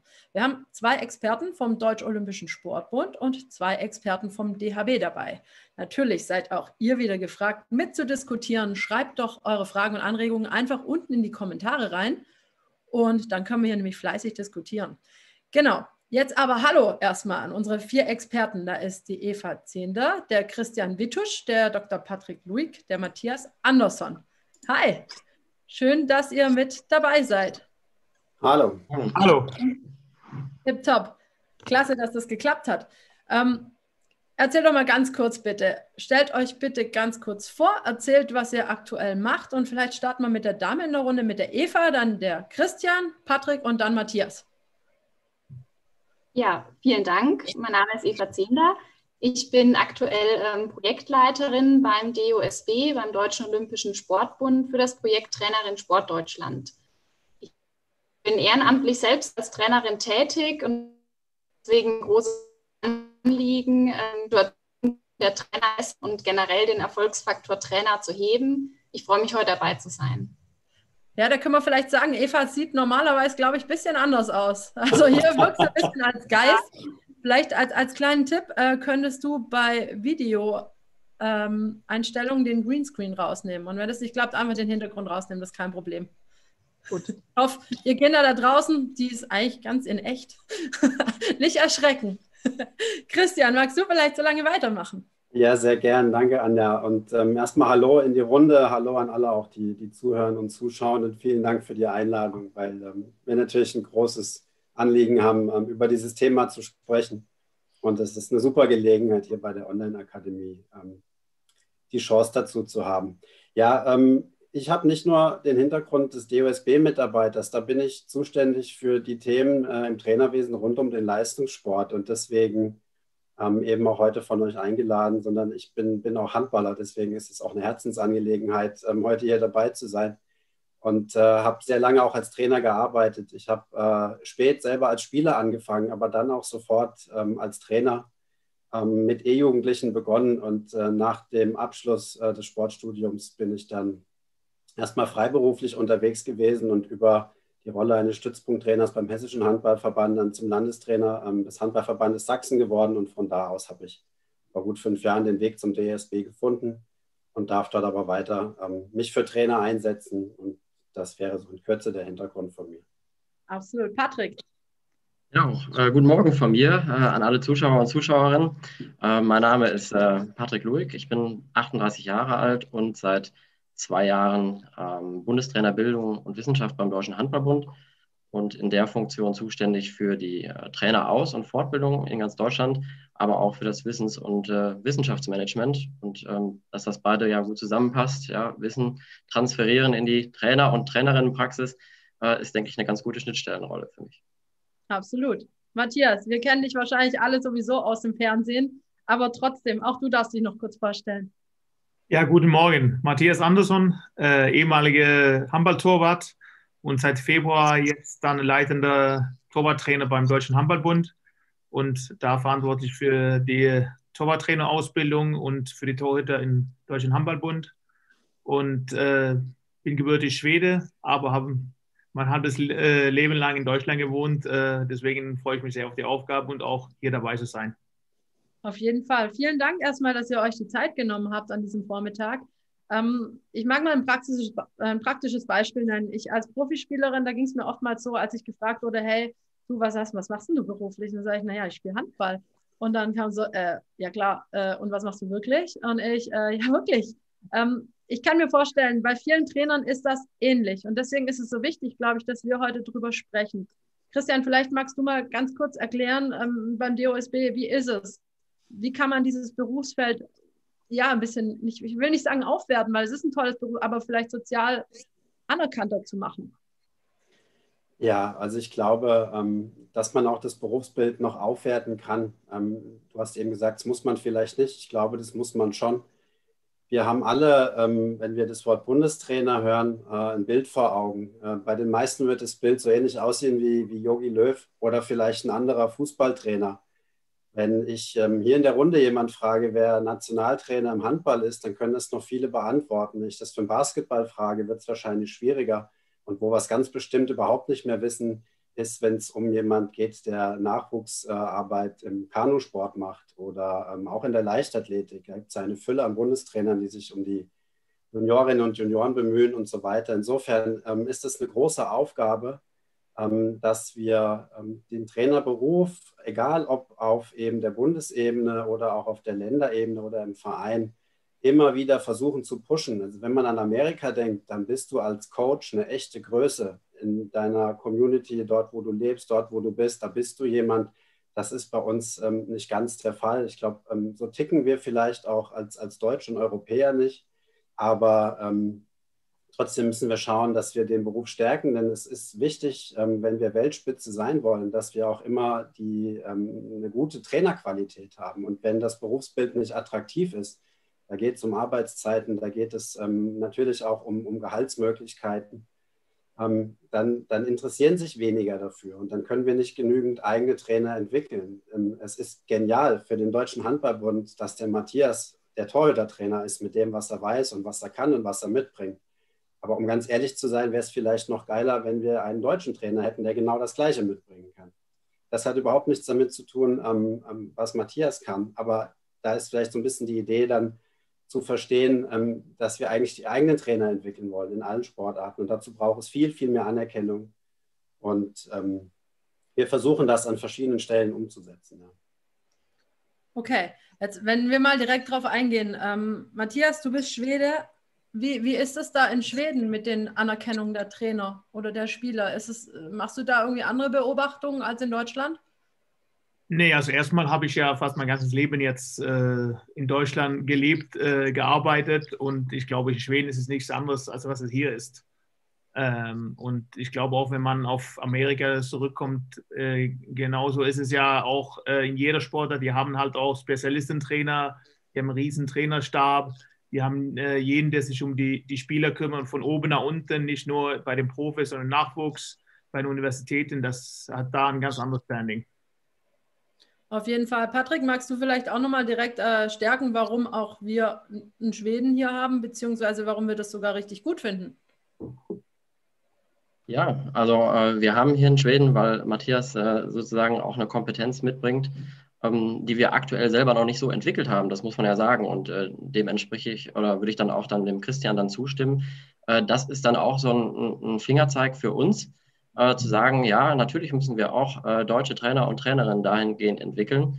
Und da haben wir auf jeden Fall äh, noch eine, ich würde es mal sagen, eine Leistungsreserve in allen Bereichen. Das geht ja nicht nur um den Spezialistentrainer, den jetzt äh, Matthias für die Torhüter-Trainer sozusagen darstellt, sondern auch in anderen Bereichen, ähm, in denen ähm, wir zum Beispiel über das Thema Athletiktraining sprechen, wo wir jetzt mit, mit David Gröger dann aber auch zum Beispiel einen deutschen Trainer haben, äh, obwohl auch das Thema Athletik ja, äh, sage ich jetzt mal gerade in den nordamerikanischen Ländern äh, schon, schon lange einen größeren Stellenwert hatte als vielleicht hier in Europa ähm, oder auch äh, in Deutschland als Spezialistentrainer. Denn wenn man nur mal auf den Handball zurückguckt, auch in den Top-Bereich, das, das, das wird Anja sicherlich wahrscheinlich sogar selber bestätigen können, ist es so, dass vor fünf bis zehn Jahren ähm, selbst im, im, im Hochleistungsbereich die Handballtrainer in der Regel auch diese Spezialistenfunktion noch mit übernommen haben. Und ähm, das reicht dann, äh, wenn man wirklich die, die Leistungsspitze erreichen möchte oder das letzte Quäntchen rausquetschen möchte, reicht das dann nicht mehr. Äh, denn die Anforderung oder das Kompetenzprofil von, von Trainern und Trainerinnen, das ist mittlerweile so, so breit, so diversifiziert, dass man ähm, ja, also neben der Ausbildung dahin einfach auch, selbst wenn man bestmöglich ausgebildet hat, nicht in allen Bereichen mehr Experte sein kann. Und äh, insofern, ja, müssen wir ähm, Trainer entwickeln. Ja, wir müssen aber auch ähm, dabei unterstützen, dass Trainer sozusagen sich auch Experten für Bereiche heransuchen, ja, in denen sie selber vielleicht nicht die höchste Exzellenz dann haben können, weil es einfach nicht in allen Bereichen geht. Genau. Ich möchte jetzt eigentlich relativ schnell einen Cut machen, weil ich finde, wir brauchen, wir wollen unsere Sportart nach vorne bringen, dann nehmen wir einfach die Besten, die wir kriegen können. Würde ich jetzt einfach mal zusammenfassen. Und da denke ich, ist Matthias sicherlich einer, der da genau richtig sitzt. Genau, um wieder den Bogen zu schlagen. Ähm, zu Eva vor allem. Eva, du bist ja wirklich Spezialistin für Trainerprojekte. Worum geht es denn genau und was sind denn deine Schwerpunkte? Genau, also hier wurden gerade schon ganz viele Punkte genannt, die es eigentlich, ähm, ja, die es eigentlich auch genau in meinem Projekt äh, betrifft oder in dem Projekt Trainerinnen Sport Deutschland. Zum einen ähm, hat man natürlich festgestellt, dass die Anforderungen, die an Trainer gestellt werden, immer extrem groß sind. Also es wird auch immer mehr, es wird immer anspruchsvoller sein. Es ist ja nicht nur der, der Trainer, der die Sportart vermittelt, der Trainer ist gleichzeitig auch noch ähm, Coach, Lebensbegleiter, Motivator, Psychologe ein Stück weit. Und ähm, das ist eben genau die Herausforderung, dass es schwierig ist, die Trainer auf all diese Anforderungen vorzubereiten, die sie in ihrer Trainertätigkeit erwarten, beziehungsweise diese Anforderungen dann auch ähm, ja, lebensbegleitend, sage ich mal, weiterzuentwickeln. Also das ist die eine Herausforderung. Die andere Herausforderung, die Christian eben auch schon genannt hat, ähm, sind natürlich die Rahmenbedingungen, sowohl die gesellschaftlichen Rahmenbedingungen als auch die Arbeitsbedingungen der Trainer dahingehend zu verbessern, dass es auch wirklich attraktiv ist, Trainer zu sein. Also dass man auch beruflich als junger Mensch ähm, das als, ja, als anstrebenswerten Beruf sieht, das Trainersein. Ja, und ähm, mit dem Projekt Trainerin Sport Deutschland haben wir uns genau das zur Aufgabe gemacht. Wir haben dem Ganzen eine Vision ähm, gegeben, gemeinsam mit den Mitgliedsorganisationen, also gemeinsam mit dem Deutschen Handballbund, den anderen ähm, Spitzenverbänden und Landessportbünden, dass wir eben gesagt haben, okay, wir möchten jetzt so viele Maßnahmen, so viele Anstrengungen ähm, ja, und so viel Power auch in das Thema Trainer geben, dass es uns gelingt, oder zumindest, dass wir es anstreben, bis zum Jahr 2026 über eine ausreichende Anzahl an qualifizierten Trainern zu verfügen. Also sprich, dass wir wirklich genügend Trainer haben, die dann auch das richtige Handwerkszeug besitzen, um sowohl im Spitzensport als aber auch im, im Breitensport wirklich erfolgreich als Trainer tätig zu sein. Christian, magst du vielleicht was zum Projekt ergänzen, wie es überhaupt zu der Idee kam? Ja, kann ich gerne machen. Ähm, wir haben das Trainerthema innerhalb des DOSB eigentlich immer in unseren unterschiedlichen Geschäftsbereichen separat behandelt. Ähm, ich komme aus dem Geschäftsbereich Leistungssport und ähm, da gab es mal ähm, seit 2005 eine Traineroffensive. Äh, da hat man versucht, sich den Rahmenbedingungen der Trainer, die im Leistungssport tätig sind, vor allem auf der Bundesebene zu nähern. Im Geschäftsbereich Sportentwicklung, da ist die Integration, da ist die Inklusion zu Hause, der Gesundheitssport und so weiter, die Trainerbildung. Also es gab viele verschiedene ähm, Arbeitsgebiete, ähm, in, in denen das Thema behandelt wurde. Und wir haben irgendwann gesagt, wir müssen das eigentlich gemeinsam machen. Es macht überhaupt keinen Sinn, einzelne Trainer und Trainerinnen separat zu denken, abhängig von ihrer Aufgabe, sondern es gibt die Trainerschaft und die ist es definitiv wert, dass man sich um sie kümmert. Das war der eine Gedanke dass wir 2016 mit einer großen Konferenz ähm, alle Ebenen zusammengebracht haben. Also sowohl den Jugendsport äh, unter dem Dach der deutschen Sportjugend als auch gerade den Bildungsbereich in den Spitzenverbänden, der nicht immer, wenn auch immer mehr ähm, mit den Leistungssportverantwortlichen verzahnt ist. Und das Zweite war, dass wir gesagt haben, wir, wir müssen nicht selber ein Programm aufsetzen und das anbieten und, und dann für jemand anderen tun, ist der falsche Weg, sondern die Mitgliedsorganisationen müssen selber ein Interesse entwickeln, im Themenfeld Trainerinnen aktiv zu werden. Und das war eigentlich ähm, unser Ansatz zu sagen, wir, wir entwickeln eine Vision, was wir 2026 im Trainerbereich erreicht haben wollen und gucken, welche Leitziele darunter wir in den Blick nehmen müssen, um dahin zu kommen. Und so haben wir das äh, im DOSB übergreifend entwickelt und versuchen es jetzt durch das Trainer- und Sportdeutschland-Projekt ähm, auch übergreifend in die Begleitung ähm, unserer Mitgliedsorganisationen zu bringen. Patrick, der DHB arbeitet ja auch mit dem DOSB zusammen. Magst du vielleicht mal so ein bisschen die Brücke schlagen zum DHB und DOSB? Warum gibt es gemeinsame Projekte? Wie, wie greift ihr euch da ein? Ja, äh, wir teilen ja die Mission der Traineroffensive, äh, die wir auch äh, so ähm, für uns in unseren Strukturplan geschrieben haben. Ähm, Trainer sind für uns sozusagen eigentlich das Herzstück oder der Motor auch des, des deutschen Handballs, muss man einfach sagen. Jeder kennt das. Im Breitensport sind gute Trainer und Trainerinnen diejenigen, die die Kinder wirklich in die Halle holen ähm, und auch dort halten. Und ich glaube, jeder kennt genau solche Trainer und Trainerinnen, die das halt eben schaffen. Und im Leistungssport muss man einfach sagen, steckt hinter jedem Spitzenathlet, hinter jeder Spitzenathletin eine Handvoll von Spitzentrainern. Und dadurch äh, wird erst ermöglicht überhaupt, ja, ähm, dass äh, aus einem Talent und äh, dann letztendlich eine, sage ich jetzt mal, herausragende ähm, Handballerin oder ein Handballer wird. Und ähm, ja, ich, ich glaube, ich mache es mal ein bisschen greifbarer. Ich habe äh, eine kleine äh, Folie mal vorbereitet, die ich hier mal kurz dran werfe, um einfach zu gucken, was ist eigentlich so das Anforderungsprofil von Trainern. Und ähm, ich hoffe, ihr seht es jetzt alle. Ähm, das, was ich hier zeige, ist garantiert unvollständig, aber um wirklich diese Herausforderung, äh, diese, dieses breite Spektrum von Aufgaben einfach mal klarer zu fassen, habe ich mir gedacht, packen wir das mal so zusammen. Und ähm, da sieht man sicherlich in erster Linie, äh, dass es so drei große Bereiche gibt. Und sicherlich gibt es noch vier, fünf andere weiter. Klar, das Training auf der einen Seite, das Führen von, von Athleten, Athletinnen, aber auch das Analysieren, so als zwei, drei große Aufgabenbereiche.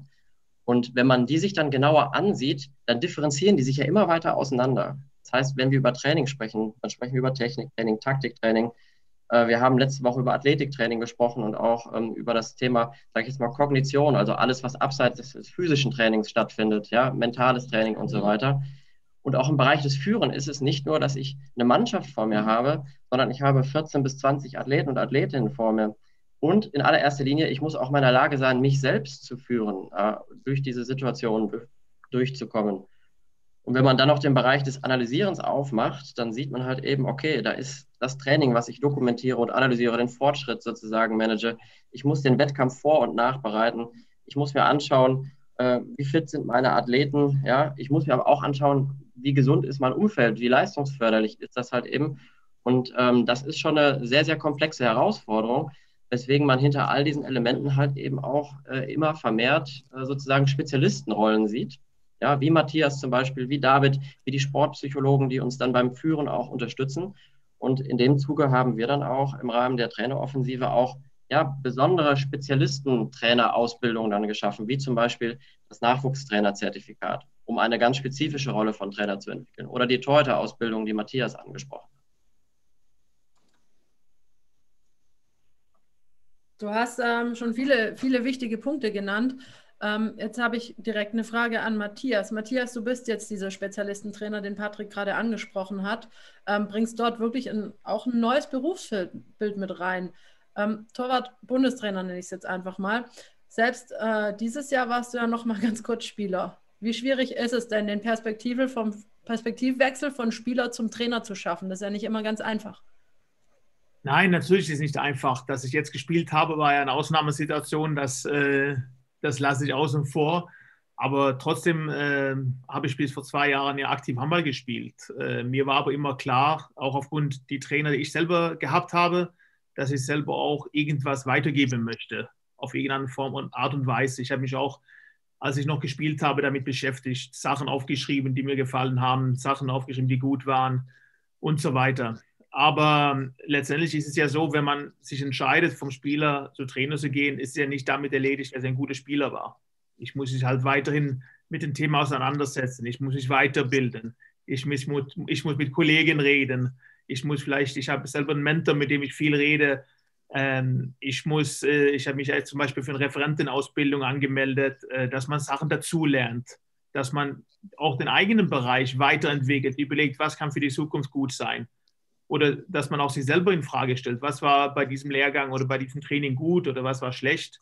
Äh, und da muss man halt auch, äh, auch äh, Nachhinein viel Zeit investieren, damit, damit man sich selber auch weiterentwickelt und weiterbildet. Da sagst du sicherlich was Richtiges und sehr Wichtiges, vielleicht als Botschaft auch nach draußen. Jetzt kommt schon direkt eine Frage aus der Community. Was wünschst du dir, Matthias, als Profi- und DHW-Torwarttrainer in der Jugendausbildung von uns, in, in der Kinder- und Jugendtrainer, in der Förderung von Torhüterinnen und Torhütertalenten? Wann denkst du, sollte man damit am besten starten? Das ist äh, schwierig zu sagen, wann man damit starten soll. Man soll aber immer bewusst sein, dass es was ganz anderes ist, im Tor zu stehen, als im Feld zu spielen. Und man soll auch diese Position eine Wertschätzung geben. Äh, und es wird oft in den jungen Jahren oft davon, oh, wie viele Tore hast du geworfen und so weiter. Aber dass man auch äh, die Tore und Tore drinnen einen Sinn gibt, einen gehaltenen Ball ist auch ein Erfolg. Das ist auch wie ein Tor zu werfen, dass man die Position auch wertschätzt und dass man die Kinder auch äh, in den Training die Zeit gibt, Erfolge zu haben und sich weiterzuentwickeln. Jetzt haben wir schon auch von Matthias gehört, man muss sich weiterbilden. Eva, wie sieht denn so ein Anforderungsprofil an einen Trainer aus? Absolut, wenn ich da ein bisschen weiter ausholen darf. Also zunächst mal, ich finde es total super, dass du so eine Einstellung hast, Matthias, weil das ist genau das richtige Selbstverständnis, das wir uns auch von einem Trainer und einer Trainerin wünschen. Also wirklich ähm, nicht heranzugehen und sagen, okay, ich bin der Experte, ich bin der Trainer, ich weiß alles und alles läuft nach meiner Pfeife, um es umgangssprachlich zu sagen, sondern wirklich auch als Trainer sich immer wieder zu reflektieren, immer wieder darüber nachzudenken, ähm, was, was brauchen meine Spieler in dem Moment, ähm, wie kann ich ihnen als, ich sage jetzt mal, Lernbegleiter ähm, auch die, die richtigen Hinweise geben, dass sie sich entsprechend weiterentwickeln können und eben nicht als Trainer heranzugehen und sagen, okay, du magst es so, du magst es so, du magst es so, sondern das so ein bisschen weiterzudenken und ähm, ja, wirklich auch als, als Trainer immer wieder dazulernen zu wollen, sich immer wieder weiterzuentwickeln. Und gerade auch ein ganz, ganz wichtiger Aspekt, den du genannt hast, ähm, ein guter Spieler ist nicht gleichzeitig auch ein guter Trainer. Ich glaube, das ist auch so eine ganz gute Message. Natürlich bringt er wahnsinnig viel mit, aber es gibt auch durchaus immer wieder sehr gute Beispiele, ähm, bei denen Spieler, die es eben nicht bis in den Top-Bereich geschafft haben, dann aber sehr gute Trainer sind. Also das ist einfach, denkt man, dieses ähm, ja, reflektierte Handeln und diese Bereitschaft, immer wieder weiter zu lernen, ist eigentlich eine ganz wichtige Anforderung, die an so einen Trainer gestellt wird. Patrick, wenn wir jetzt nochmal auf den DHB schauen, wie sieht da der Trainerbildungsbereich genau aus? Kannst du da irgendwie so ein bisschen skizzieren, wie, wie man da am besten vorgeht? Ja, also es gibt natürlich ähm, erstmal äh, die klassischen auch äh, DSB-Trainer-Ausbildungsbereiche, wo wir dann die C, B und A-Lizenzen erwerben können. Ähm, das ist, ist, ist, ein Strang, der dann mit der C-Lizenz üblicherweise, die sich dann mit dem, mit dem Kinderhandballtraining und auch dem ähm, eher breitensportlichen oder äh, Seniorentraining sozusagen dann auseinandersetzt. Dafür vorgeschaltet, muss man sagen, bieten aber auch sehr viele Landesverbände schon so eine Art Einstieg in das Trainerdasein an. Ähm, so eine Art Kinderhandballtrainer oder Übungsleiter, Assistent in der Richtung, wo man erstmal gucken kann, ja, ich bin begeistert, ähm, ich möchte mich engagieren, aber ich will vielleicht noch nicht den, den nächsten oder den ersten großen Schritt wagen und jetzt so eine, so eine C-Trainer-Ausbildung machen. Ähm, das ist sozusagen eigentlich der Einstieg. Und darauf kann man dann, je nachdem, wie man sich dann selber auch weiterentwickelt, dann die B-Lizenz, ähm, die so den höheren äh, Nachwuchsleistungsbereich äh, im Jugendbereich abdeckt, ähm, oder dann halt eben hin bis zum, zum Anschlusstraining dann oder Hochleistungstraining dann die A-Trainer-Ausbildung dann hat.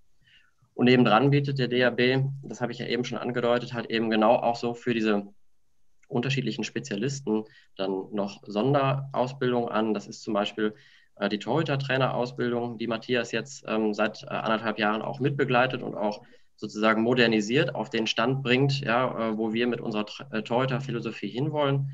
Wir haben diese Nachwuchstrainer-Ausbildung, äh, die ich, wie ich finde, sehr, sehr wichtig ähm, äh, sehe, denn im Nachwuchsbereich sieht Training einfach nochmal anders aus als dann wirklich ähm, im, im Erwachsenenbereich. Und ähm, es gibt halt eben auch darüber hinaus, zum Beispiel über die Trainerakademie, äh, mit der wir seit langen Jahren auch in der Kooperation zusammenarbeiten, die Möglichkeit, sich für dieses Berufsfeld oder diese Spezialistenrolle auch als Athletiktrainer zu qualifizieren. Das sind so die, die üblichen Ausbildungsbereiche, ähm, die wir ähm, letztendlich haben.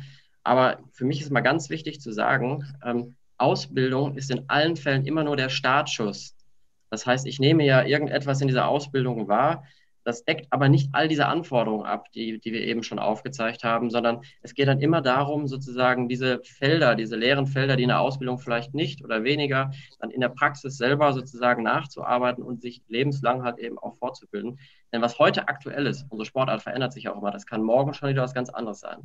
Und ähm, das ist halt eben für mich immer der wichtigste Impuls, ich kann nicht nur nach hinten blicken auf meine Ausbildung, sondern ich muss immer nach vorne schauen, damit ich nicht verpasse, äh, was es noch für weitere Möglichkeiten dann zukünftig gibt. Absolut. Ja, darf ich da was ergänzen? Natürlich, klar. Ja, ähm, ich will ja nur mal loswerden, dass ähm, das, was Patrick eben beschrieben hat mit der ähm, DHB-Nachwuchstrainerausbildung, mit der Torhüter-Trainerausbildung etwas ist, was sehr fortschrittlich ist, was äh, noch nicht vielen Spitzenverbänden gelungen ist. Es gibt noch andere aber das weiterzudenken und vor allem weiter auszudifferenzieren äh, und sich dem als Spitzenverband selber anzunehmen, das finden wir DOSB-seitig schon wirklich klasse.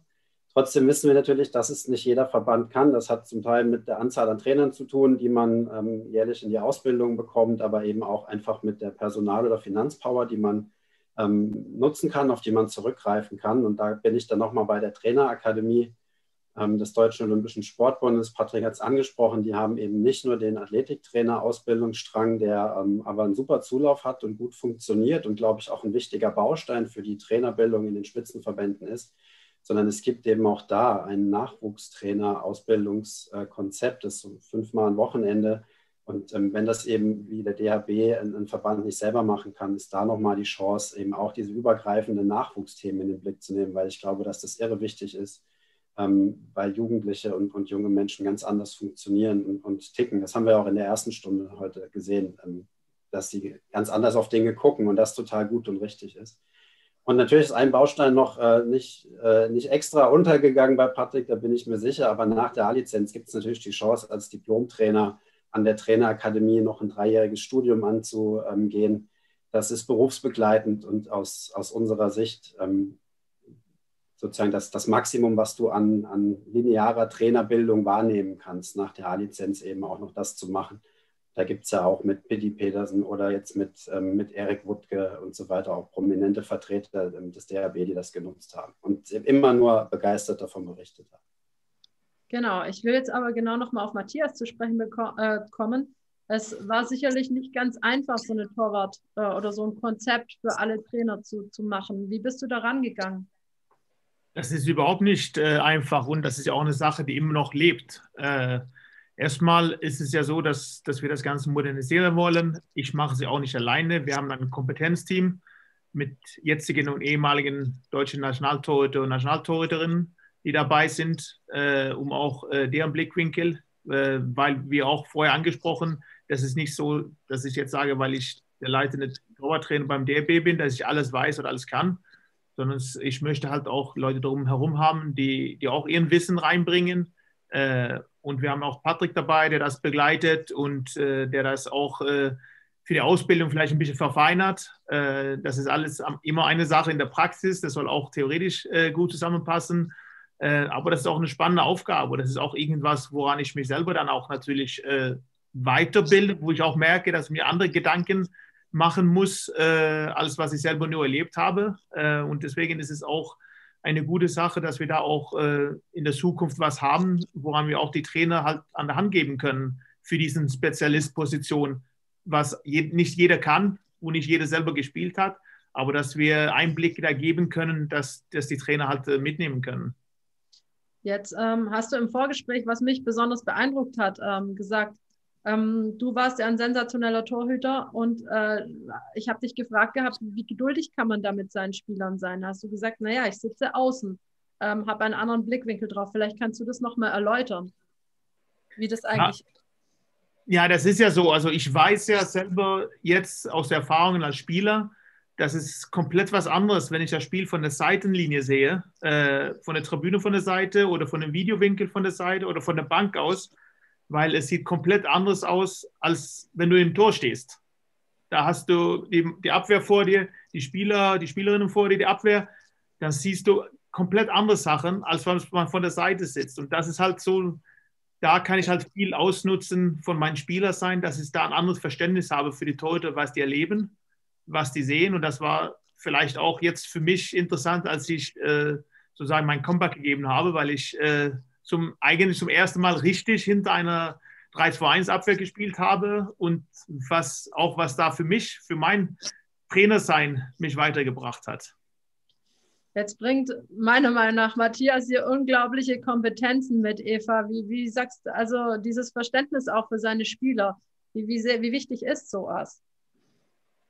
Ist ähm, ja unglaublich wichtig. Also ich glaube, das kann man gar nicht äh, oft genug betonen. Natürlich muss sich ein Trainer auch in die Spieler reinversetzen können. Und das ist dann auch wieder das, wo man im Vorfeld ansetzen kann. Ne? Natürlich ist es wichtig, wenn ein Trainer auch selber Spielerfahrung hat. Also das ist, glaube ich, ganz, ganz entscheidend. Was mir jetzt gerade ganz gut nochmal gefallen hat, ist auch dieser Blick über den Tellerrand. Also sowohl, ähm, wenn es darum geht, Ausbildungen zu konzipieren, dass man hier einfach auch nochmal den, den Blick weitet und so guckt, okay, klar, der Handball ist, das ist unsere Sportart, aber was passiert denn auch in den anderen Sportarten ringsherum? gerade wenn wir jetzt auch im Bereich Trainerbildung wieder gucken. Ne? Und das ist, da kommen wir dann auch wieder zum, zum Projekt zurück. Das ist natürlich auch eine Aufgabe im Projekt. Nicht, dass jede Sportart für sich immer das Rad wieder neu erfinden muss, sondern dass man hier die ja, ganzen Potenziale, die in Sportdeutschland sind, sage ich mal, im Themenfeld Trainer, dass wir die wirklich heben können und sichtbar machen können. Und dass dann auch zum Beispiel der, was weiß ich, der Basketballverband ein gutes Beispiel nehmen kann am Handballbund oder eben auch andersrum. Ne? Also das ähm, ist nochmal, denke ich, ganz gut, dass man hier auch immer wieder den Blick über den Tellerrand wirft und nicht zu sehr in seiner eigenen Sportart gefangen bleibt. Darf ich kurz da, da was ergänzen? Klar. Äh, gerade das ist auch ein Teil, was wir seit den letzten Jahren bei der äh, Todetrainerausbildung auch dabei haben, dies über den Tellerrand zu blicken. Äh, und das sind immer äh, ein von den Vorträgen, was immer sehr beliebt ist von den Teilnehmern. Äh, zum Beispiel hatten jetzt im im August den äh, Jimmy Lewis, den Torwarttrainer vom Deutschen Hockeybund, äh, von deren Sichtwinkel. Und ich glaube, dass es man auch viel voneinander lernen kann äh, auf der Art und Weise, weil es gibt natürlich kleine Sachen, die, die, übertragbar sind. Man kann nicht alles übertragen, aber vielleicht ist bei, bei jeder solche Sache ein, zwei Sachen, was halt interessant sind und was man dann selber anknüpfen kann. Auf jeden Fall. Patrick, Matthias hat vorher gesagt, du bringst das alles so ein bisschen in den wissenschaftlichen Rahmen. Ähm, magst du uns da mal ein bisschen mitnehmen und aus dem Nähkästchen plaudern?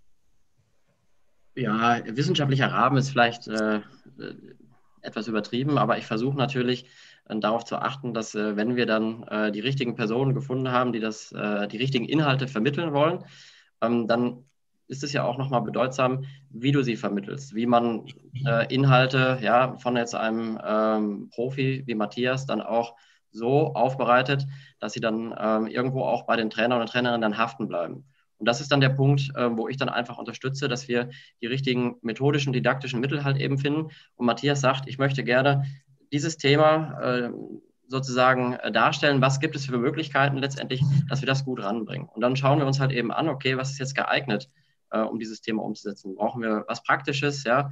Äh, lassen wir viel mehr die, die, die Trainer und Trainerinnen ähm, selber Dinge machen, also sozusagen eigentlich an diesem Lernen und Lehren sozusagen selbst zu beteiligen, was äh, brutal wichtig ist, weil ähm, diese klassische theorielastige, äh, vielleicht auch manchmal wissenschaftslastige Geschichte, das ist alles tolles Wissen, aber Wissen, was ich nicht anwenden kann, das ist träges Wissen.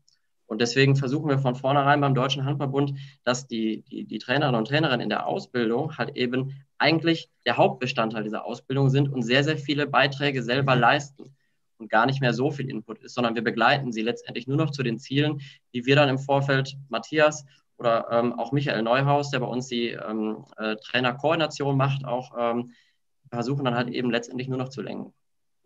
Jetzt haben wir auch viele Amateurtrainer da vorm Rechner sitzen. Ähm, hast du vielleicht da einen, einen, kleinen Tipp? Klar, es ist wahrscheinlich in erster Linie Aufgabe des Landesverbandes, da zu bilden, aber wenn wir schon an der Stelle sind, hast du einen Tipp, wie kann man, ähm, wenn man im Handball nach oben will, als Trainer so einen, einen Paradeweg gehen zum Beispiel?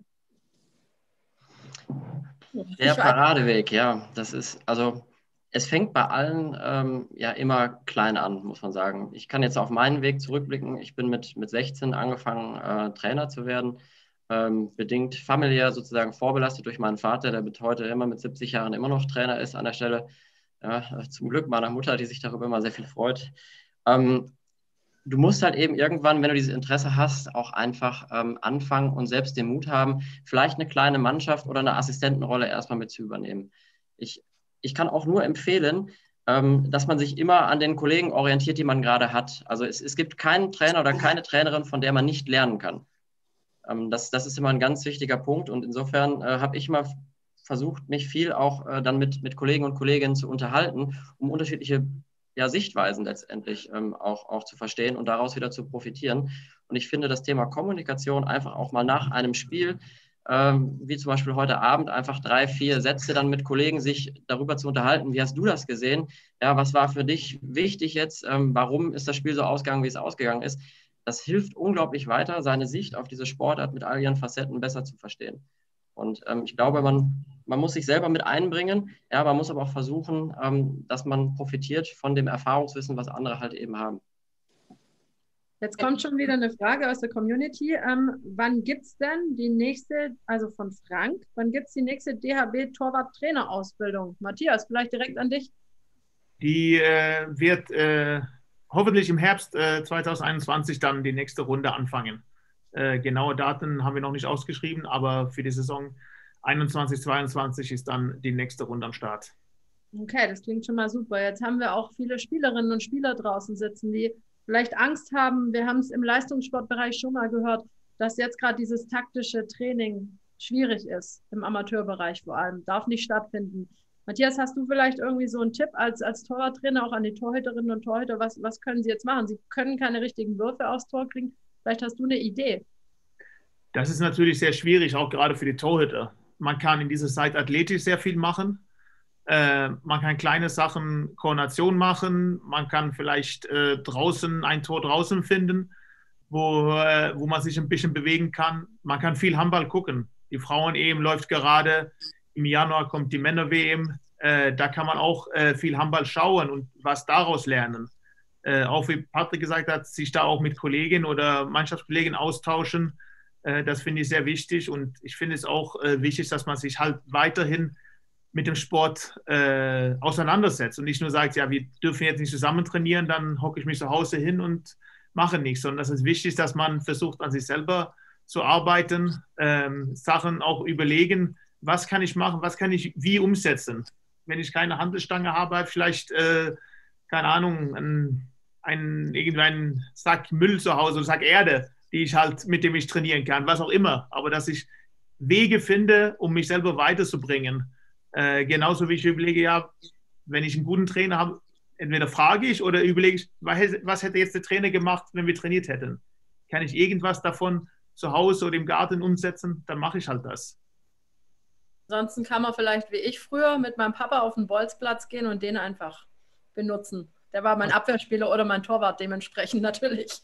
Das, das, kann, man, das kann man immer machen. Und ich glaube, äh, nur auf äh, Eltern zurückzukommen. Also mein Vater war selber auch äh, Torwart, der war dann auch lange mein Trainer. Und ich glaube allgemein, dass äh, wenn man Spieler ist und gute Trainer hat, dann ist es auch ein Grund, dass man selber später Trainer sein möchte.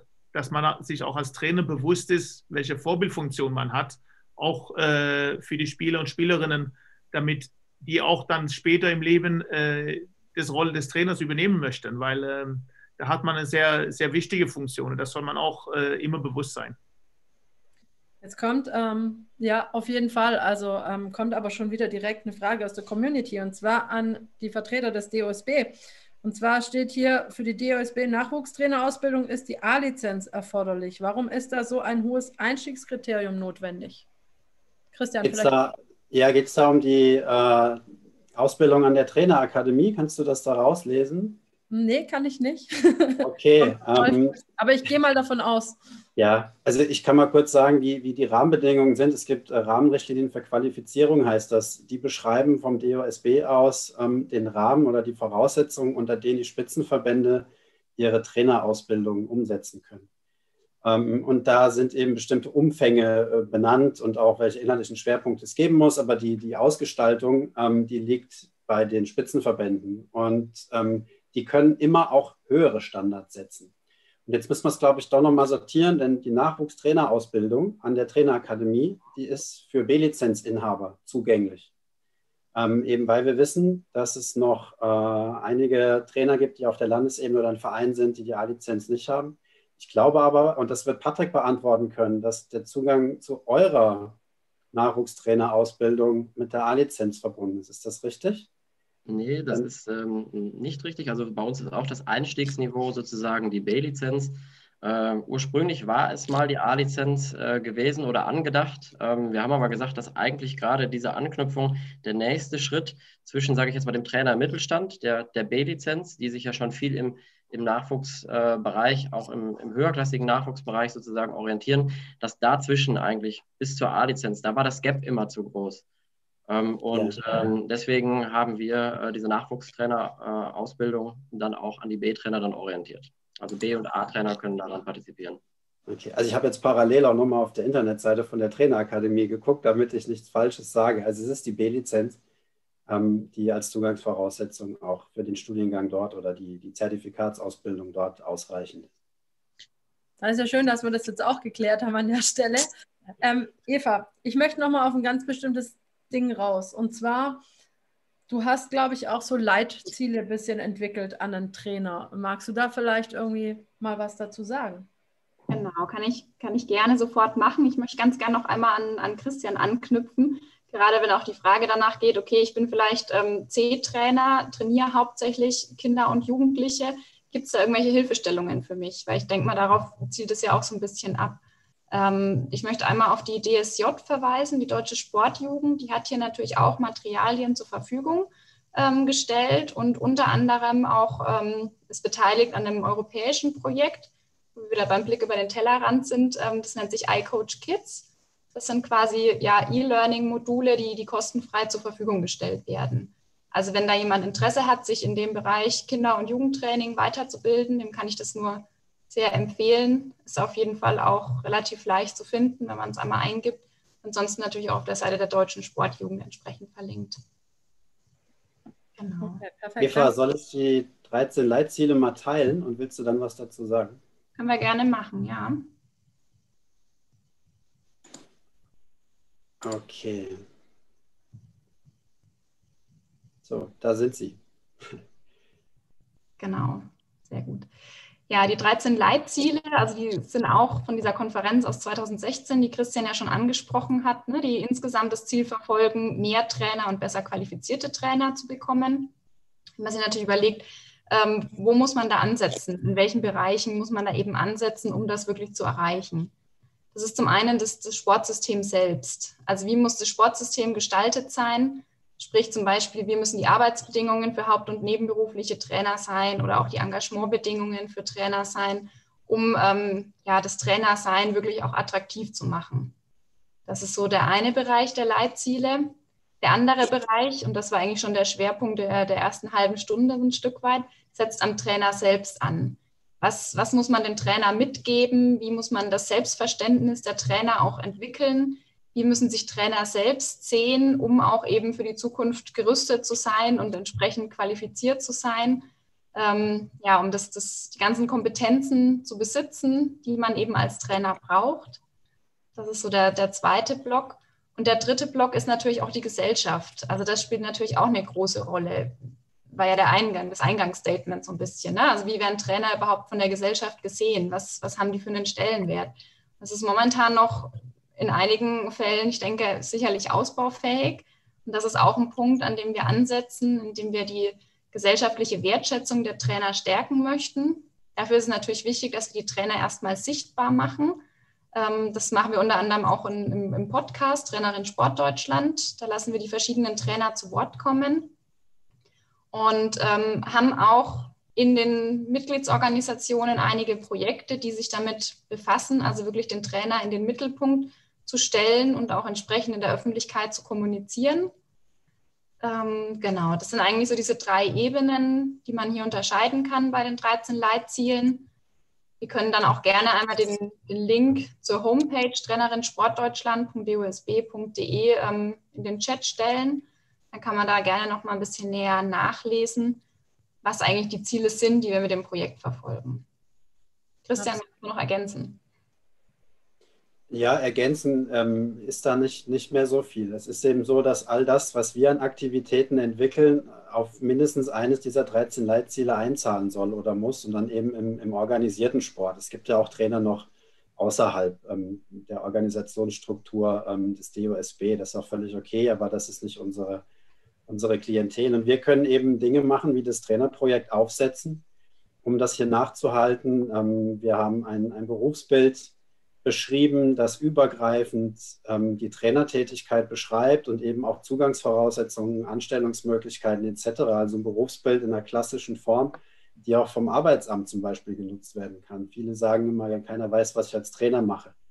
Aber an der Stelle ähm, ist es jetzt mal beschrieben und wir versuchen einfach dadurch ein besseres Verständnis für das Berufsbild entstehen zu lassen. Wir haben im gleichen Jahr, also 2019, ähm, das Leistungssportpersonal in den Spitzenverbänden genau beschrieben und dazu ein Konzept veröffentlicht, an dem sich die Spitzenverbände orientieren können. Ähm, das vorherige Konzept hat genau drei oder vier Trainerfunktionen vorgesehen. Das jetzige Trainer oder das jetzige ähm, Leistungssportpersonalkonzept beinhaltet 16 Trainerfunktionsebenen, weil einfach so eine große Ausdifferenzierung stattfindet Wir haben äh, im letzten Jahr ein Trainerkonzept verabschiedet, das sehr darauf ähm, abzielt, wie bundesfinanzierte Trainer vergütet werden sollen, wie man mit Arbeitszeit umgehen soll, wie man mit Befristung umgehen soll. Und das beschreibt, glaube ich, ganz gut die Dinge, die der DOSB als Dachverband machen kann, nämlich Rahmen zu setzen und Rahmenbedingungen vorzugeben und zu beschreiben. Und wenn es dann konkreter wird, äh, da können wir ja ähm, die Beispiele des DHB nehmen, die jetzt im, im Rahmen des Trainerprojektes hier an ihrer Lizenzausbildung feilen, die müssen es dann quasi runterbrechen, damit es ähm, für diejenigen, die als Trainer wirken wollen und die als Trainerin sich fortbilden wollen, ähm, dann auch nutzen können. Also so weit reicht dann unser Arm auch gar nicht. Wir sind dann eher die Ermöglicher oder Befähiger oder versuchen es zu sein ähm, für die Verbände und Mitgliedsorganisationen, die sich engagieren wollen. Jetzt will ich den Bogen aber nochmal zum Handball zurückschlagen. Und zwar Patrick, wenn du vielleicht einfach nochmal zusammenfassen kannst, wie sieht so eine Trainerentwicklung in Deutschland aus, eine Ausbildung? Einfach so nochmal kurz als Rahmen zusammenfassen. Wie siehst du die, unsere Traineroffensive so ein bisschen? Ja, also ähm, prinzipiell müssen wir äh, die, die Trainerausbildung zugänglicher machen und attraktiver machen. Also äh, das ist, denke ich, äh, da müssen wir uns selber als DHB in die Pflicht nehmen. Äh, der DOSB tut das ja auch und nimmt uns auch mit in die Pflicht äh, an der Stelle. Und äh, da kann ich auch nur alle, alle Landesverbände, ähm, die sozusagen im DHB ähm, mit dabei sind, auch motivieren, das zu machen. Also ähm, attraktiver und zugänglicher. Und ähm, denn, denn diese Trainerfunktion ist und bleibt einfach eine zentrale Rolle aus, aus, aus meiner Sicht. Und ähm, zur Ausbildung gehört halt eben nicht nur, sage ich jetzt mal, Theorie zu vermitteln, sondern halt eben auch gerade im Einstieg diese Begeisterung an, dieser, an diesem Beruf. Ja, oder äh, für viele ähm, ist es ja noch nicht direkt ein Beruf, sondern es ist sozusagen eine Trainerrolle, ein Trainerabend oder auch, ähm, sage ich jetzt mal, äh, im Einstieg in Hobby. Und da, da müssen wir mehr sozusagen äh, mitnehmen können. Ähm, da müssen wir die, die, die, Grund, ähm, die Grundlagen letztendlich legen. Ansonsten die Ausbildung selber, ähm, die muss halt eben sich immer an, anpassen, auch an die Gruppe, die ich gerade habe. Also nicht einfach ich habe einen Rahmenplan und setze den durch, sondern ich muss mir angucken, wer ist jetzt in dieser Gruppe drin. Nehme ich damit alle mit und biete ich denen dann mit dem, was ich äh, den Trainerinnen jetzt in der Ausbildung zukommen lasse, auch das Richtige an. Und da muss man auch auch ein bisschen dynamischer sein und sagen, okay, man orientiert sich hier an den Teilnehmerinnen und an deren Anwendungsfeld. Und wenn ich jetzt eine C-Trainer-Ausbildung zum Beispiel habe, in der nur Kindertrainer sind, ja, dann muss ich vielleicht manche Themengebiete etwas stärker ausprägen, ja, um halt eben diesem Anforderungsfeld der, der anwesenden Trainer und Trainer dann auch gerecht zu werden auf jeden Fall. Jetzt hast du vorher äh, ein sehr nettes Beispiel gebracht, die Trainer, wie ich sie kenne. Und zwar, sie sind sehr allumfassend, wissen alles und brauchen keine Spezialisten. um jetzt hier, sage ich mal, zukunftsorientierter zu arbeiten, ähm, wie schafft man auch bei Trainern der alten Schule so eine gewisse Akzeptanz für Spezialtrainer? Und um da überhaupt mal eine neue Ebene zu öffnen? Also ich denke, dass das auch eine Frage des Marktes ist, äh, der sich dann auftut. Also äh, die, die Traditionalisten, so bezeichne ich sie jetzt gar nicht despektierlich gemeint, ja, ähm, werden sehen, dass sie rein von den Erfolgswahrscheinlichkeiten nicht mehr dort abschneiden, wie diejenigen, die sich eher so als Netzwerk und kollegiale Trainer mit Experten sozusagen umgeben. Und ähm, das, das, da bin ich mir ziemlich sicher, das wird sich einfach aufgrund der Qualität durchsetzen. Wichtig ist halt eben, ähm, man hat ja unterschiedliche Zugänge ähm, zur, zur Trainerausbildung, zur Fortbildung. Ich kann eher von der Wissensseite kommen oder ich kann mehr von der Handelnsseite kommen. Wichtig ist, dass man Wissen und Handeln hier zusammenbringt an der Stelle. Und vielleicht Matthias äh, als ehemaliger Athlet, ja, das ist einer, der kommt mit einem unglaublichen Handlungswissen in diesen Job letztendlich rein, ähm, muss sich aber immer wieder reflektieren und fragen, ist das, was ich dort tue, eigentlich wirklich richtig? Und dabei können mir wieder die Kollegen helfen, die mich auch einordnen, ja, und dann ähm, sozusagen diesen Rahmen dann schaffen. Ähm, ich glaube nicht, dass wir in der Zukunft darum kommen, sozusagen alleine alles zu wissen. Ja, man kann mit allen kommunizieren und in allen Bereichen sozusagen auskunftsfähig sein. Aber wenn man wirklich gerade Richtung Leistungssport das letzte Quäntchen herausholen möchte, dann muss man sich auch darauf einlassen, Sachen abgeben zu können und sich ja, Unterstützung von anderer Seite hereinholen. Matthias, wenn wir jetzt den Spieß umdrehen, ähm, du bist in der Rolle des Spezialistentrainers. Wie schaffst du dir Akzeptanz, wenn es dann notwendig ist? Also ich habe Gott sei Dank bisher damit äh, nie Probleme gehabt. Äh, an den Stellen, wo ich gearbeitet habe, natürlich ist es immer so, äh, dass äh, du auch mit Leistung überzeugen musst. Wenn du wissen, äh, was, wenn du mit irgendwas beitragen kannst, dann wirst du auch akzeptiert. Und das ist genauso als Trainer, glaube ich, als auch als Spieler Und äh, da muss man halt auch äh, offen sein und äh, man muss sich auch an die Situation anpassen. Äh, das ist ja auch so, wenn wir zum Beispiel jetzt mit dem DRB, mit der Nationalmannschaft unterwegs sind. Das ist ja nicht so, nur so, dass weil ich Spezialistentrainer bin und äh, zum Teil verantwortlich für die Torhüter, dass ich da sagen kann, jetzt machen wir nur so, sondern das muss ja mit dem ganzen Trainerteam abgestimmt werden. Und letztendlich ist es ja dann Alfred Gisserson, der Bundestrainer, sagt, ja, heute machen wir das so, wir wollen so spielen und dann passen wir das halt alles zusammen an. Und ich glaube, wenn jeder auch weiß, dass, dass die, man Hilfe von der anderen Seite hat, dann wird das auch funktionieren. Wenn man äh, jetzt sich gerade nochmal fragen kann, was ist denn so genau deine Trainerphilosophie? Meine Tra Trainerphilosophie oder die, die wir jetzt für den DRB auch zusammen äh, so herausgestellt haben, ich kann kurz zeigen, was wir so für den Torhüter-Trainer oder für den Torhüter in der Zukunft vorhaben. Ähm, ist, wenn wir da jetzt nur kurz durchgehen, das ist ohne das in Detail reinzugehen, aber vor allem ist es so, wir wollen so trainieren, wie wir spielen. Wir wollen äh, kein so viel Hokuspokus machen, wir wollen gucken, was machen wir im Spiel. Das wollen wir auch im Trainer, Trainer trainieren umsetzen. Wir wollen als Trainer immer bewusst sein, was wollen wir erreichen. Warum mache ich eine Übung oder warum mache ich eine Trainingseinheit? Was will ich damit erreichen? dass für die, gerade für die Tore, Tore drinnen, die nicht im Tor stehen, dann gibt es so viel Zeit, die heutzutage umgenutzt wird, auch in der Jugend, äh, auch so in den Leistungsbereich, das kann man äh, aktiv nutzen. Und äh, auch für die Tore, gerade das, die, das Tore-Training kann auch für alle sinnvoll sein. Das muss nicht nur für die Tore sein, sondern ist auch für die Mannschaft sinnvoll mit Würfe, mit Techniktraining, und man kann andere Sachen dann so wie mit der Zusammenarbeit mit der Abwehr trainieren. Aber vor allem geht es darum, das Bewusstsein zu erhöhen. Was wollen wir machen? Warum machen wir was? Nicht nur eine Übung irgendwo aus dem Internet zu holen und sagen, ah, das ist eine geile Übung. Das ist bestimmt auch eine geile Übung, aber ich muss auch als Trainer wissen, warum mache ich die Übung, wann mache ich die und was, was will ich damit erreichen. Äh, und diese Komplexität dann halt bewusst sein, dass wir da auch uns Gedanken machen, was wollen wir machen und das auch umsetzen. Du hast gerade gesagt, du findest, man muss äh, aktive Pausen besser oder diese Pausen besser nutzen. Hast du da vielleicht ein konkretes Beispiel, was vielleicht auch wie der Jugendtrainer, der vorher gefragt hat, was kann er schon vielleicht einbauen für seine Torhüter zukünftig oder Torhüterinnen? Ja, da geht es auch darum, äh, sich Gedanken zu machen, was macht ein Torhüter oder ein Torhüterin im Tor. Das ist Fußarbeit, das ist Koordination, das ist äh, Stabilität, das ist Reaktion. Gibt es dafür Übungen, die man auch am Seitenrand machen kann? Äh, das ist so eine Sache, die ich immer nicht sehen kann, wenn ein Tor oder Torhüterin nicht im Tor steht, sondern hockt nur auf der Bank und tut zu. Weil die Zeit kann man besser nutzen. Äh, und wenn man gerade müde ist und nicht gerade eine physische Übung machen will, dann soll man sich vielleicht hinter dem Tor stellen und gucken, was der Kollege oder Kollegin macht und sieht. Und dann kriegt man auch ein bisschen extra Handballwissen oder Todewissen dabei raus, dass man auch was macht, statt nur von der Seite zu sitzen und zugucken. Auf jeden Fall. Ähm, weiß ich nicht, wie, wie, das generell ist, wenn du mit deinen Torhütern auch trainierst. Habt ihr da auch noch extra Kameras quasi, äh, die das so ein bisschen einfangen aus Torhütersicht oder ist es nicht so wirklich angedacht?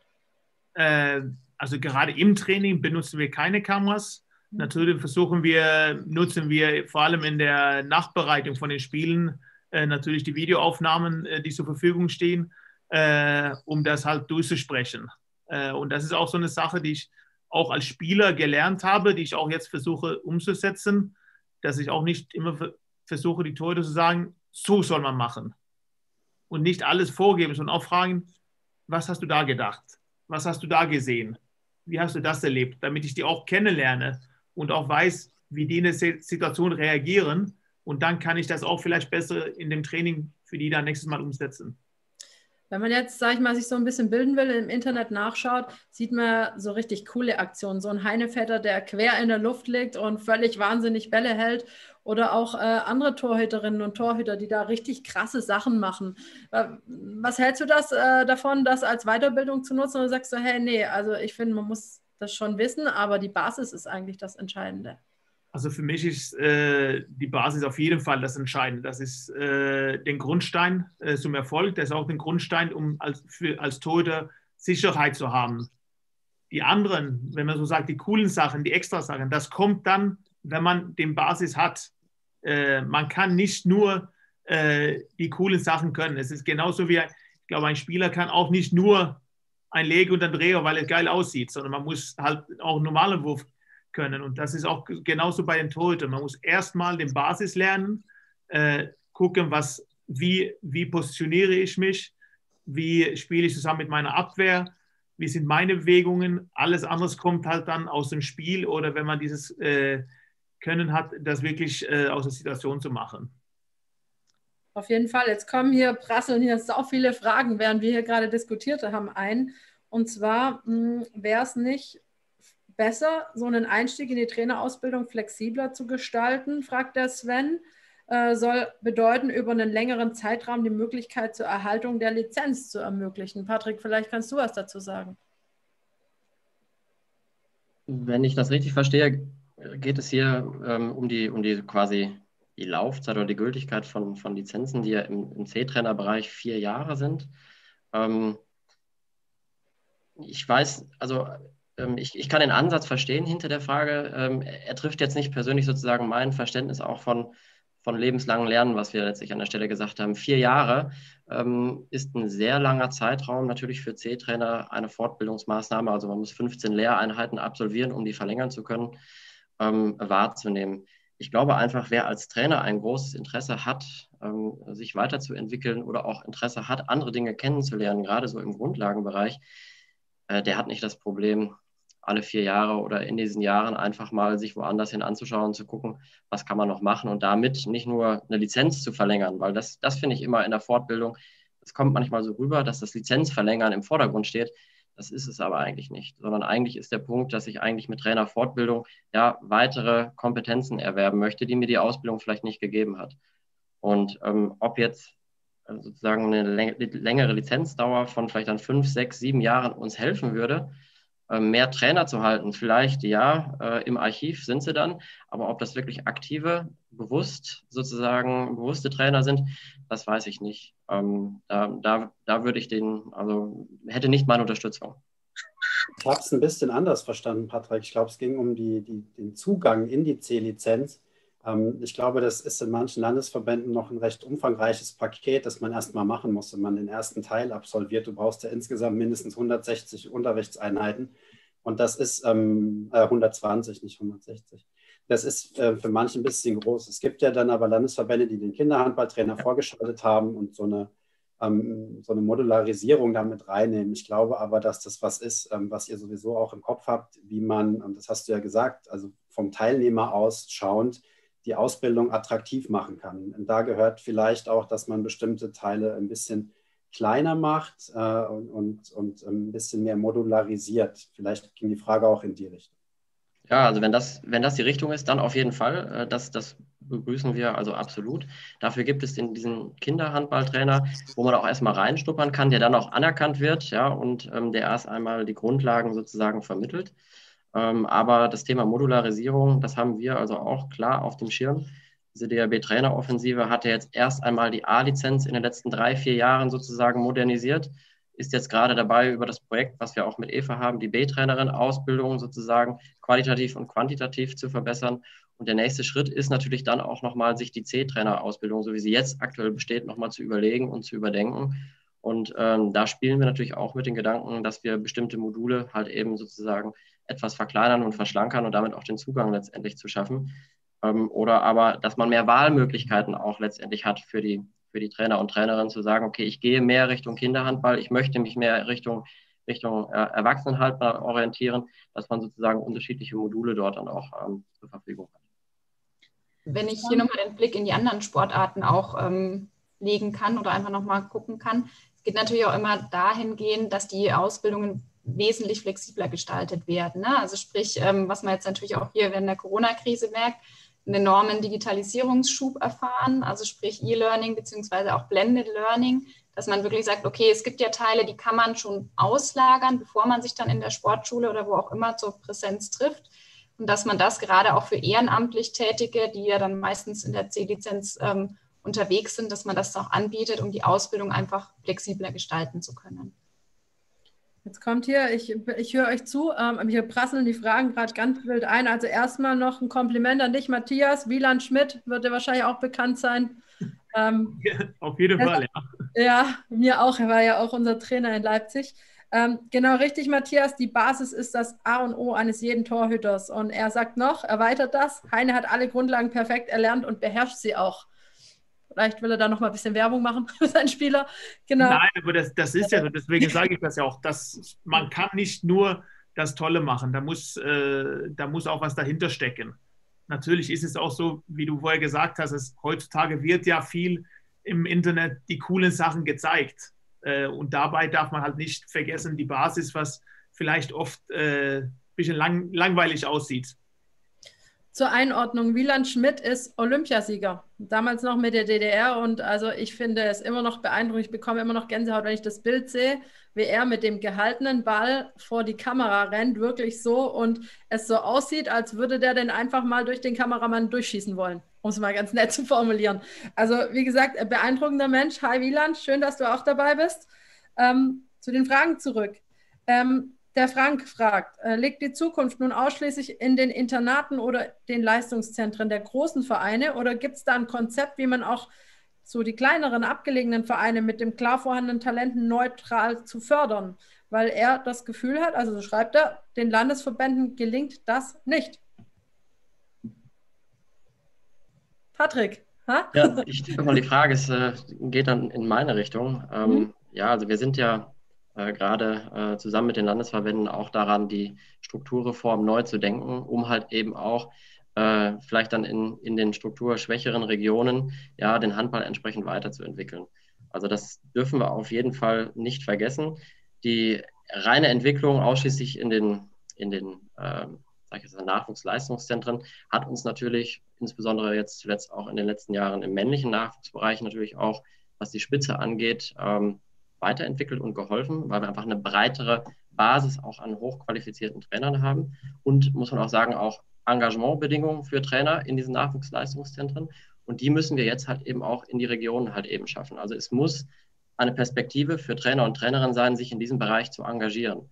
Dafür sind wir als DHB mitverantwortlich, dafür sind aber auch noch ganz viele andere Player mitverantwortlich, dass man halt eben diese Rahmenbedingungen schafft, dass gute Trainer und Trainerinnenqualität nicht nur in der Spitze arbeiten kann, sondern natürlich auch deutlich mehr in diesem Mittelstand und in der Breite. Es kommt noch so eine kleine Kritik, und zwar der Jan Niklas sagt, ähm, wieso sind so viele Lehrmaterialien nicht öffentlich zugänglich und nur in den Trainerweiterbildungen verfügbar? Er sagt doch, Ziel ist es doch, so viele wie möglich weiterzubilden. Da wäre doch ein Open Access sehr förderlich, zum Beispiel ABC-Lizenzmaterial. Wie seht ihr das?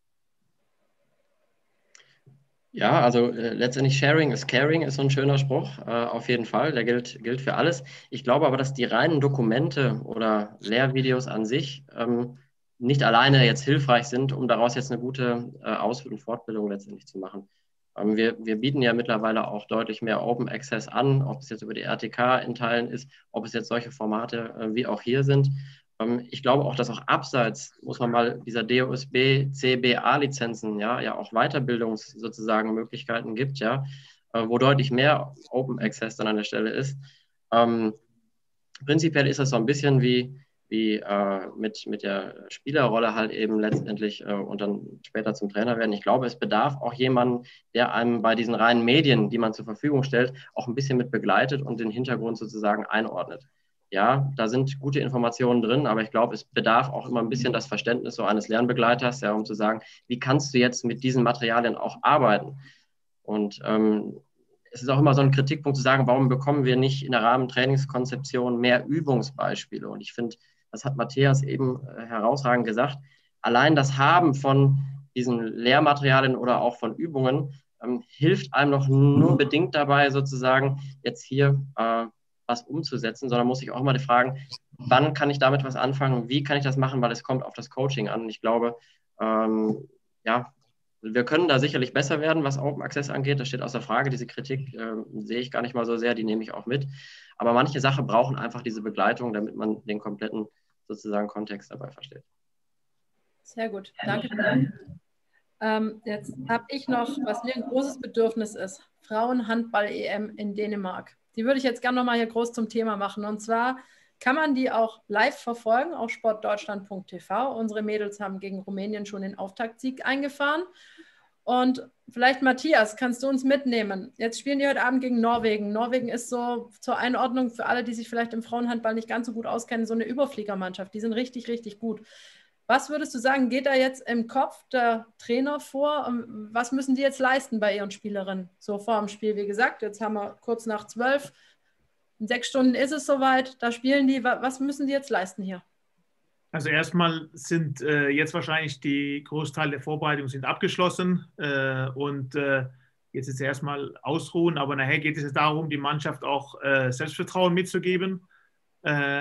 Ich glaube, anfeuern braucht man für so ein Spiel nicht, aber dieses Selbstvertrauen mitzugeben, dass auch wie du sagst, Norwegen ist eine super Mannschaft, ein von den Favoriten bei der EM, dass sie da auch wirklich ihren eigenen Spiel machen und ihren Stempel draufdrücken und nicht äh, die Norwegerinnen machen lassen sagen. Aber das, äh, ich glaube, ein Spiel, was, äh, was alle auch genießen werden, weil es ist immer, macht immer Spaß, sich gegen die Besten zu messen. Auf jeden Fall. Ähm, grundsätzlich, vielleicht kannst du uns mal mitnehmen, wie läuft das bei so einer EM? Ich meine, ich kann es nur als Spielerin sagen. Wir bereiten uns natürlich auch viel mit Videos vor, aber ich habe mir nie so wirklich viel Gedanken gemacht, wie viel kommt ein Trainer überhaupt zum Schlafen bei so einer EM? Äh, sehr wenig äh, weil auch es wird ja jeden zweiten, teilweise auch äh, jeden Tag gespielt, äh, normalerweise. Und das ist ja die Nachbereitung. Dann ist die Vorbereitung für das nächste Spiel. Äh, wenn man auch, äh, muss man auch die Videos abwarten von den Gegnern, die vielleicht nach äh, dem Spiel gespielt haben. Dann alles analysieren, zusammenschneiden, fertig für die Spieler machen, verpacken da muss man das Training daraus planen. Ähm, ja, das ist äh, nicht äh, so viel Schlaf in, den, äh, in dem Monat für, bei der Meisterschaft. Das, äh, das habe ich auch äh, als Trainer gelernt, dass es da auch äh, ein bisschen mehr Zeit zu investieren ist, obwohl ich auch selber Spieler viel Zeit investiert habe. Aber genau dieses, was nach den Spielen in der Nacht mit analysieren, erstmal das eigene Spiel kurz anschauen und daraus die Lernen ziehen, vor allem auch das, die Spiel, das nächste Spiel bei den Gegnern halt vorzubereiten. Weil das frische Material kommt ja erst äh, an den gleichen Tag. Jetzt haben wir bei dieser EM ganz besondere Herausforderungen. Die Spieler äh, oder eigentlich alle Nationen hatten das Problem, sie konnten nicht so wirklich viele Trainingsspiele machen. Ähm, macht ja auch für die Trainer die, die Einstellung der Mannschaft ein bisschen schwierig, äh, weil man nicht so viel Videomaterial macht. Siehst du das als Chance oder sich so ein bisschen auf die eigenen Stärken zu besinnen oder ist es eher eine große Herausforderung? ich glaube, die momentane Situation ist überhaupt eine Herausforderung. Äh, ich meine, die Vorbereitung, die die, die die Frauen jetzt durchgemacht haben, ist, glaube ich, auch einmalig äh, mit äh, den Quarantänevorschriften und dass der Henk Gröner erst spät zur Mannschaft gekommen ist und viele solche Sachen drumherum. Also, dass man da auch schafft, das Fokus auf den Sport zu legen und auf die Leistung so wie gegen äh, Rumänien, das ist schon stark und das ist, glaube ich, eine einmalige Situation. Und natürlich kann man sagen, dass man es ausnutzt, um seine eigene Stärke oder ihre eigene Stärke zu nutzen. Das ist keine Frage. Aber trotzdem ist das eine Ausnahmesituation, äh, die eigentlich keiner kennt, weil Professionalität und Vorbereitung ist normalerweise was anderes. Und jetzt muss man es komplett umstellen und wirklich auf diesen Moment äh, den Fokus haben und alles anders abzuschalten. Das ist schon, schon Hut ab, was die leisten. Absolut. Ähm, Patrick, vielleicht auch an dich. Ähm, aus, der, aus dem DHB, aus dem Innen raus, wie, wie sehr fiebert ihr mit der deutschen Frauennationalmannschaft? Also ich glaube, diese, dieses Turnier ist besonders wichtig jetzt gerade in der Zeit, äh, in der wir durch den Coronavirus wenig Handball in den, in den letzten äh, Monaten gesehen haben.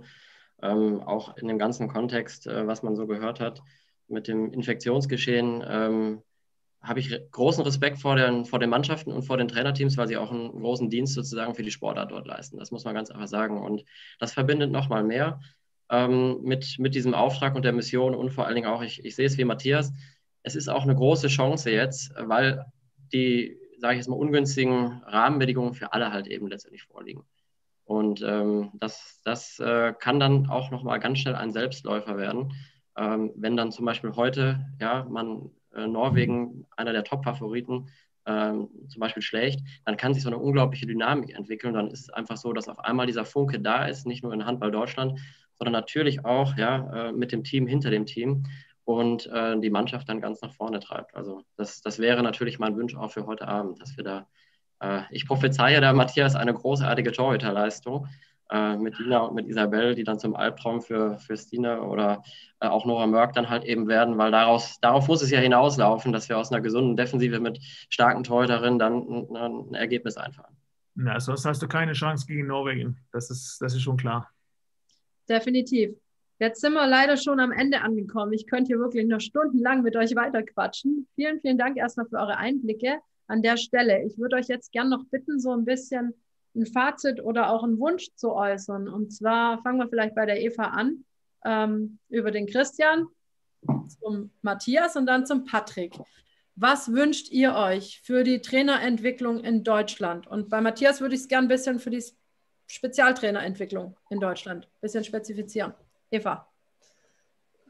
Also ich fange ganz gerne mal beim Nachwuchs an. Also ich wünsche mir, dass das wirklich interessierter Trainer Nachwuchs auch die Möglichkeiten hat, dass die Rahmenbedingungen so geschaffen werden, dass sie zum Beispiel über Mentoring-Konzepte und ja einfach Begleitung auf dem Weg zum Trainer, dann eventuell auch zum Spitzentrainer gebracht werden und dass da einfach mehr Möglichkeiten entstehen.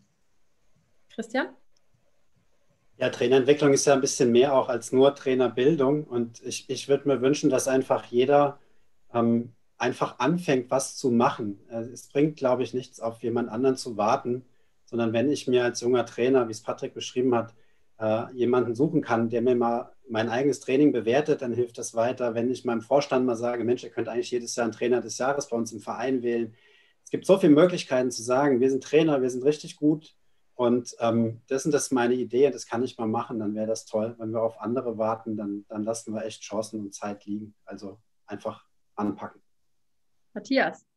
Ich glaube, das Verständnis für die Spezialistentrainer, das kommt nach und nach. Ähm, gerade für das tote Bereich wünsche ich mir, dass man sich halt ein bisschen mehr Gedanken macht, was dahinter steckt, äh, sich überlegt, warum man Sachen macht und äh, es halt, halt auch umsetzt. Genauso wie Christian gesagt hat, nicht nur reden, sondern halt auch ähm, das Umsetzen.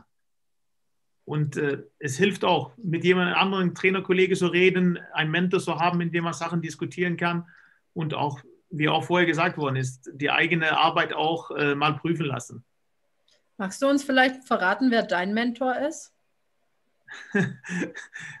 das ist vielleicht ein bisschen blöd mit Bezug auf das Spiel heute Abend, aber das ist Mats Olsson, der äh, Torwarttrainer von den norwegischen Frauen, mit dem ich selber auch seitdem, ich habe selber mit ihm zusammengespielt, als ich 17 war, als ich in Öster gespielt habe. Und ähm, mit dem habe ich auch gearbeitet als, als Torwart, der war auch mein Torwarttrainer und äh, mit dem arbeite ich halt immer noch so auf Distanz zusammen ein paar Sachen und das ist halt äh, mein Mentor, mit dem äh, bespreche ich viele Sachen. Äh, das ist auch für mich so eine Art Weiterbildung und äh, Gespräche auf ein, ein sehr hohes Niveau, wo ich halt auch Sachen nachfragen kann oder wo wir auch Sachen halt diskutieren, was, äh, was man nicht mit, mit jedem diskutieren kann.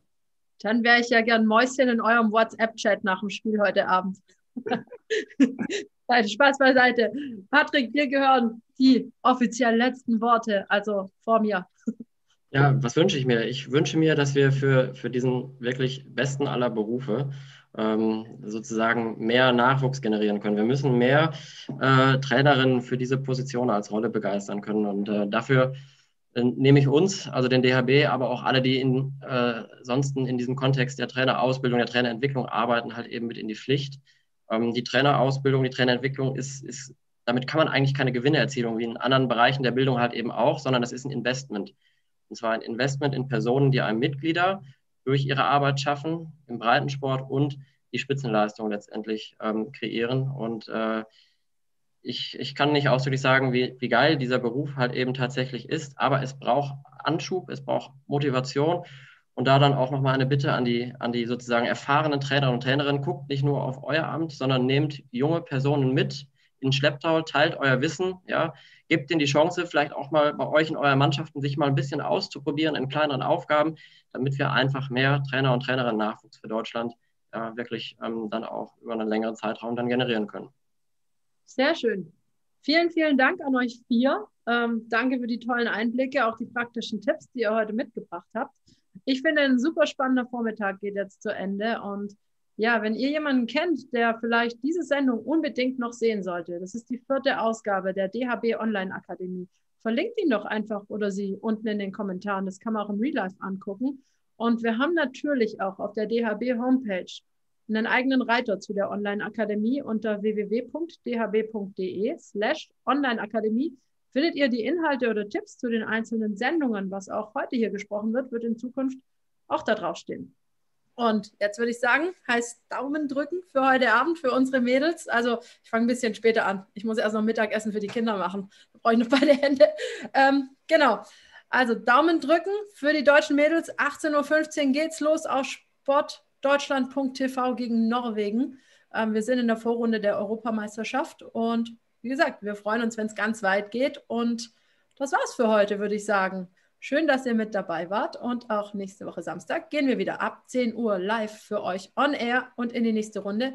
Bleibt gesund, kommt gut durch die Woche. Bis dahin, ciao. Ihr dürft auch